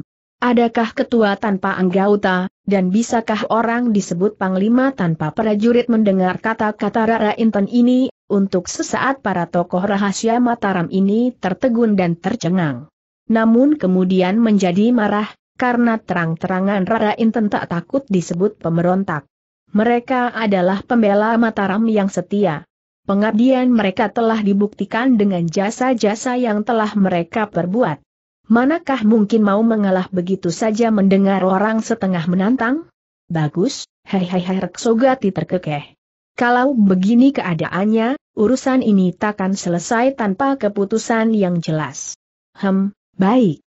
Kalian bertahan dan merasa berhak, sebaliknya kami pun lebih berhak. Baik, kita tentukan sekarang soal ini di ujung senjata. Mana yang menang, yang berhak atas perguruan Tuban. Mana yang kalah tak boleh rewel lagi harus enyah dari sini, siapa takut? Tantang Rara Inten dengan angkuh. Guna membela perguruan kami, nyawa sebagai taruhan bukan apa-apa, Rara Inten memandang para murid Tuban, katanya, mundurlah kalian. Berilah tempat yang cukup luas. Biarlah orang tahu, bahwa perguruan Tuban tak boleh dihina begitu saja, para murid Tuban itu dengan hati yang tegang cepat pula mengatur diri membentuk lingkaran yang merupakan gelanggang cukup luas. Tiba-tiba melesatlah Rara Inten ke tengah gelanggang. Cambuk yang tersimpan di balik bajunya telah dihunus. Cambuk itu diputarkan di atas kepalanya dan meledak-ledak. Kemudian terdengar tantangnya nyaring, hayo, Siapa yang akan maju menghadapi Rara Inten aku Sawung Rana yang lebih berangasan sudah menyahut dan melesat maju. Tahu-tahu Sawung Rana juga sudah bersenjata bandil RI yang bentuknya menyeramkan. Dua orang yang berhadapan ini masing-masing bersenjata panjang dan lemas. Akan tetapi sekalipun lemas senjata Sawung Rana tampak lebih berbahaya karena berwujud rantai baja, dan pada ujungnya terdapat roda yang bergigi tajam. Tahan tiba-tiba Madubala berteriak nyaring mencegah. Rara Inten menghentikan gerakan cambuknya memandang Madubala sambil mengerutkan alis. Sawung Rana merasa tidak senang diganggu. Bentaknya, apa maksudmu apakah penentuan ini tak perlu diatur? Artinya, ketentuan yang kalah tidak harus diakhiri dengan jatuhnya korban sahut Madubala, sebaiknya, siapa yang sudah roboh terluka, itulah yang dianggap kalah, Sampai mampus teriak Rara Inten penasaran, siapa yang takut mati? Kalau aku kalah biarlah mampus. Tetapi kalau aku menang takkan membiarkan orang masih hidup? Bagus. Siapa yang kalah harus mampus sambut sawung Rana tak kalah semangatnya. Ah terdengar seruan tertahan dari mulut Reksogati dan Yoga Suara. Dua orang ini mempunyai perasaan yang sama. Mengapa harus diakhiri dengan care itu? Mereka sebenarnya tak setuju. Tetapi apa harus dikata kalau masing-masing pihak yang berhadapan sudah saling berjanji begitu? Mereka tak dapat membatalkan. Maka yang dapat mereka lakukan tinggal menghela napas panjang. Sambutlah Rara Inten yang sudah marah, tak mau memberi kesempatan musuh berpikir. Cambuknya sudah meledak di udara kemudian menyambar ke arah Sawung Rana, dan berubah menjadi segulung sinar hitam yang menerbitkan angin dahsyat. Siut wut wut, kering-kering dalam segebrakan saja dua orang ini telah saling serang dan senjata mereka berbenturan. Rara Inten tak ingin berlambat. Maka begitu bergerak, ia sudah menggunakan jurus-jurus sampuh dari ilmu cambuk samber nyawa. Sebaliknya Sawung Rana juga memutarkan senjaranya, sehingga berubah menjadi gulungan sinar yang putih mengkilap. Dua gulung sinar hitam dan putih itu kemudian saling libat, berebut kemenangan dan saling berusaha mencari lowongan. Dalam waktu singkat telah terjadi perkelahian yang sengit sekali. 30 jurus telah dilalui, namun dua sinar yang bergulung-gulung itu masih terus saling kejar dan saling libat. Gerakan mereka makin lama semakin menjadi cepat. Yang masih dapat mengikuti gerakan dua orang ini tinggal Hestiwiro. Reksogati, Yoga Suara dan Madubala. Dan walaupun Salindri sudah cukup tinggi ilmunya namun ia masih merasa agak pening mengikuti perkelahian itu. Diam-diam empat orang ini kagum melihat sambaran cambuk Rari Inten yang menerbitkan angin dahsyat. Bukan hanya itu. Tetapi gerak perubahannya juga amat aneh. Mereka adalah orang-orang yang telah luas pengalaman. Namun mereka heran karena tak mengenal ilmu cambuk Rara Inten yang hebat itu. Seratus jurus telah dilalui. Namun senjata masing-masing masih tetap saling melibat cepat seperti kilat menyambar. Ketangkasan mereka seimbang. Sawung Rana menang pengalaman dan menang latihan. Sebaliknya, Rara Inten menang oleh bantuan ilmu sakti yang ditemukan dari dalam pedang Jatisari. Ilmu rahasia yang telah lama diperebutkan beberapa ribu tokoh sakti. Para murid Tuban yang tak lagi dapat mengikuti gerakan mereka itu, hatinya makin tegang dan bergebar. Diam-diam mereka semua mengkhawatirkan keselamatan Rara Inten. Kenyataannya memang demikian. Bukan hanya para murid Tuban yang menjadi khawatir. Tetapi juga Madubala dan Yoga Suara. Dua orang tokoh gagak kerimang ini dapat mengikuti dengan jelas. Sekalipun tampaknya Rara Inten dapat melayani Sawung Rana dengan amat baik, namun sinar hitam dari cambuknya selalu tertindih oleh sinar putih senjata Sawung Rana. Kenyataan ini memang tidak mengherankan. Sawung Rana memang mempunyai keunggulan dalam hal tenaga sakti dan menang dalam latihan. Senjatanya seperti bagian tubuhnya sendiri, sehingga dapat bergerak selaras dengan kemauan hatinya. Sebaliknya walaupun Rara Inten menggunakan ilmu sakti tiada taranya, akan tetapi belum cukup waktu dalam melatihnya. Tentang gerakan cambuknya memang sudah cukup matang dan bisa dikuasai dengan baik. Akan tetapi gerakan yang cepat laksana tatik itu, hanya kulitnya saja. Isi dari ilmu sakti itu belum dapat dikuasai benar, yang harus digerakkan oleh tenaga sakti dari dalam tubuh, sehingga pengaruh dari gerakan yang cepat itu cukup kuat merobohkan lawan. Memang pada kenyataannya, sekalipun Rara Inten sekarang sudah jauh maju, tetapi apabila berhadapan dengan orang setingkat, masih belum meyakinkan. Sedikit demi sedikit tetapi pasti, lingkaran cambuk Rara Inten terkurung oleh gulungan senjata Sawung Rana. Di saat yang amat menegangkan dan Rara Inten mulai didesak itu, tiba-tiba terdengarlah suara yang amat nyaring dan berpengaruh, Hai, berhenti teriakan nyaring dan amat berpengaruh itu tak terbantah. Rara Inten dan Sawung Rana yang sedang berkelahi sengit, tiba-tiba mencelat berjauhan, menghentikan gerakannya. Meskipun demikian senjata masing-masing belum disimpan. Dan dua orang ini masih tetap dalam keadaan siaga. Hesti Wiro, Reksogati, Madubala dan Yoga Suara tak ketinggalan pula para murid Tuban segera berpaling ke arah suara. Semua terbelalak dan heran ketika melihat Ratuhan dan Sari sudah bersama Jaka Pekik. Lebih-lebih bagi Hesti Wiro dan Raksogati, munculnya putra Adipati Surabaya di Tuban ini, Sungguh sulit dipercaya.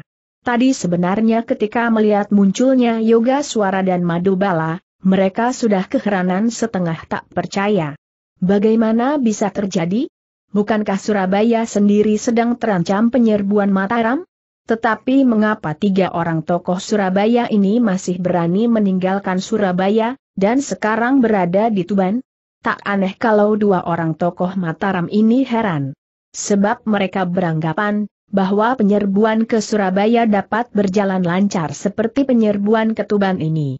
Tidak taunya bahwa pasukan Mataram terhalang oleh benteng alam Surabaya yang sulit ditundukkan ialah Sungai Mas dan Purong. Di samping merasa heran Jaka Pekik bisa muncul di tempat ini, mereka pun curiga. Mengapa sebabnya Ratuhan dan Sari datang bersama Jaka Pekik? Bagaimana bisa terjadi? Dua orang itu adalah tokoh-tokoh yang saling bermusuhan. Tetapi mengapa bisa datang bersama seperti bukan merupakan musuh? Apa yang terjadi memang sulit diduga, kecuali Yoga Suara dan Madubala. Mereka tadi datang bertiga dengan Jaka Pekik. Akan tetapi begitu tiba di luar tembok rumah perguruan Tuban dan melihat hadirnya Rara Inten sedang berhadapan dengan tiga orang kakek, Jaka Pekik tak jadi muncul. Lebih dulu Jaka Pekik bertanya kepada Madubala, siapakah tiga orang kakek itu? Setelah memperoleh keterangan dari Madubala bahwa tiga orang itu termasuk tokoh pengawal rahasia Mataram, Jaka Pekik segera memerintahkan kepada Yoga Suara dan Madubala menampakkan diri dan membantu Rara Inten sedang dirinya sendiri segera pergi. Jaka Pekik tidak memberitahukan ke mana mau pergi. Meskipun demikian, dua orang ini percaya bahwa Seng Raja itu melakukan tugas lain yang lebih penting, bersambung jilid 12.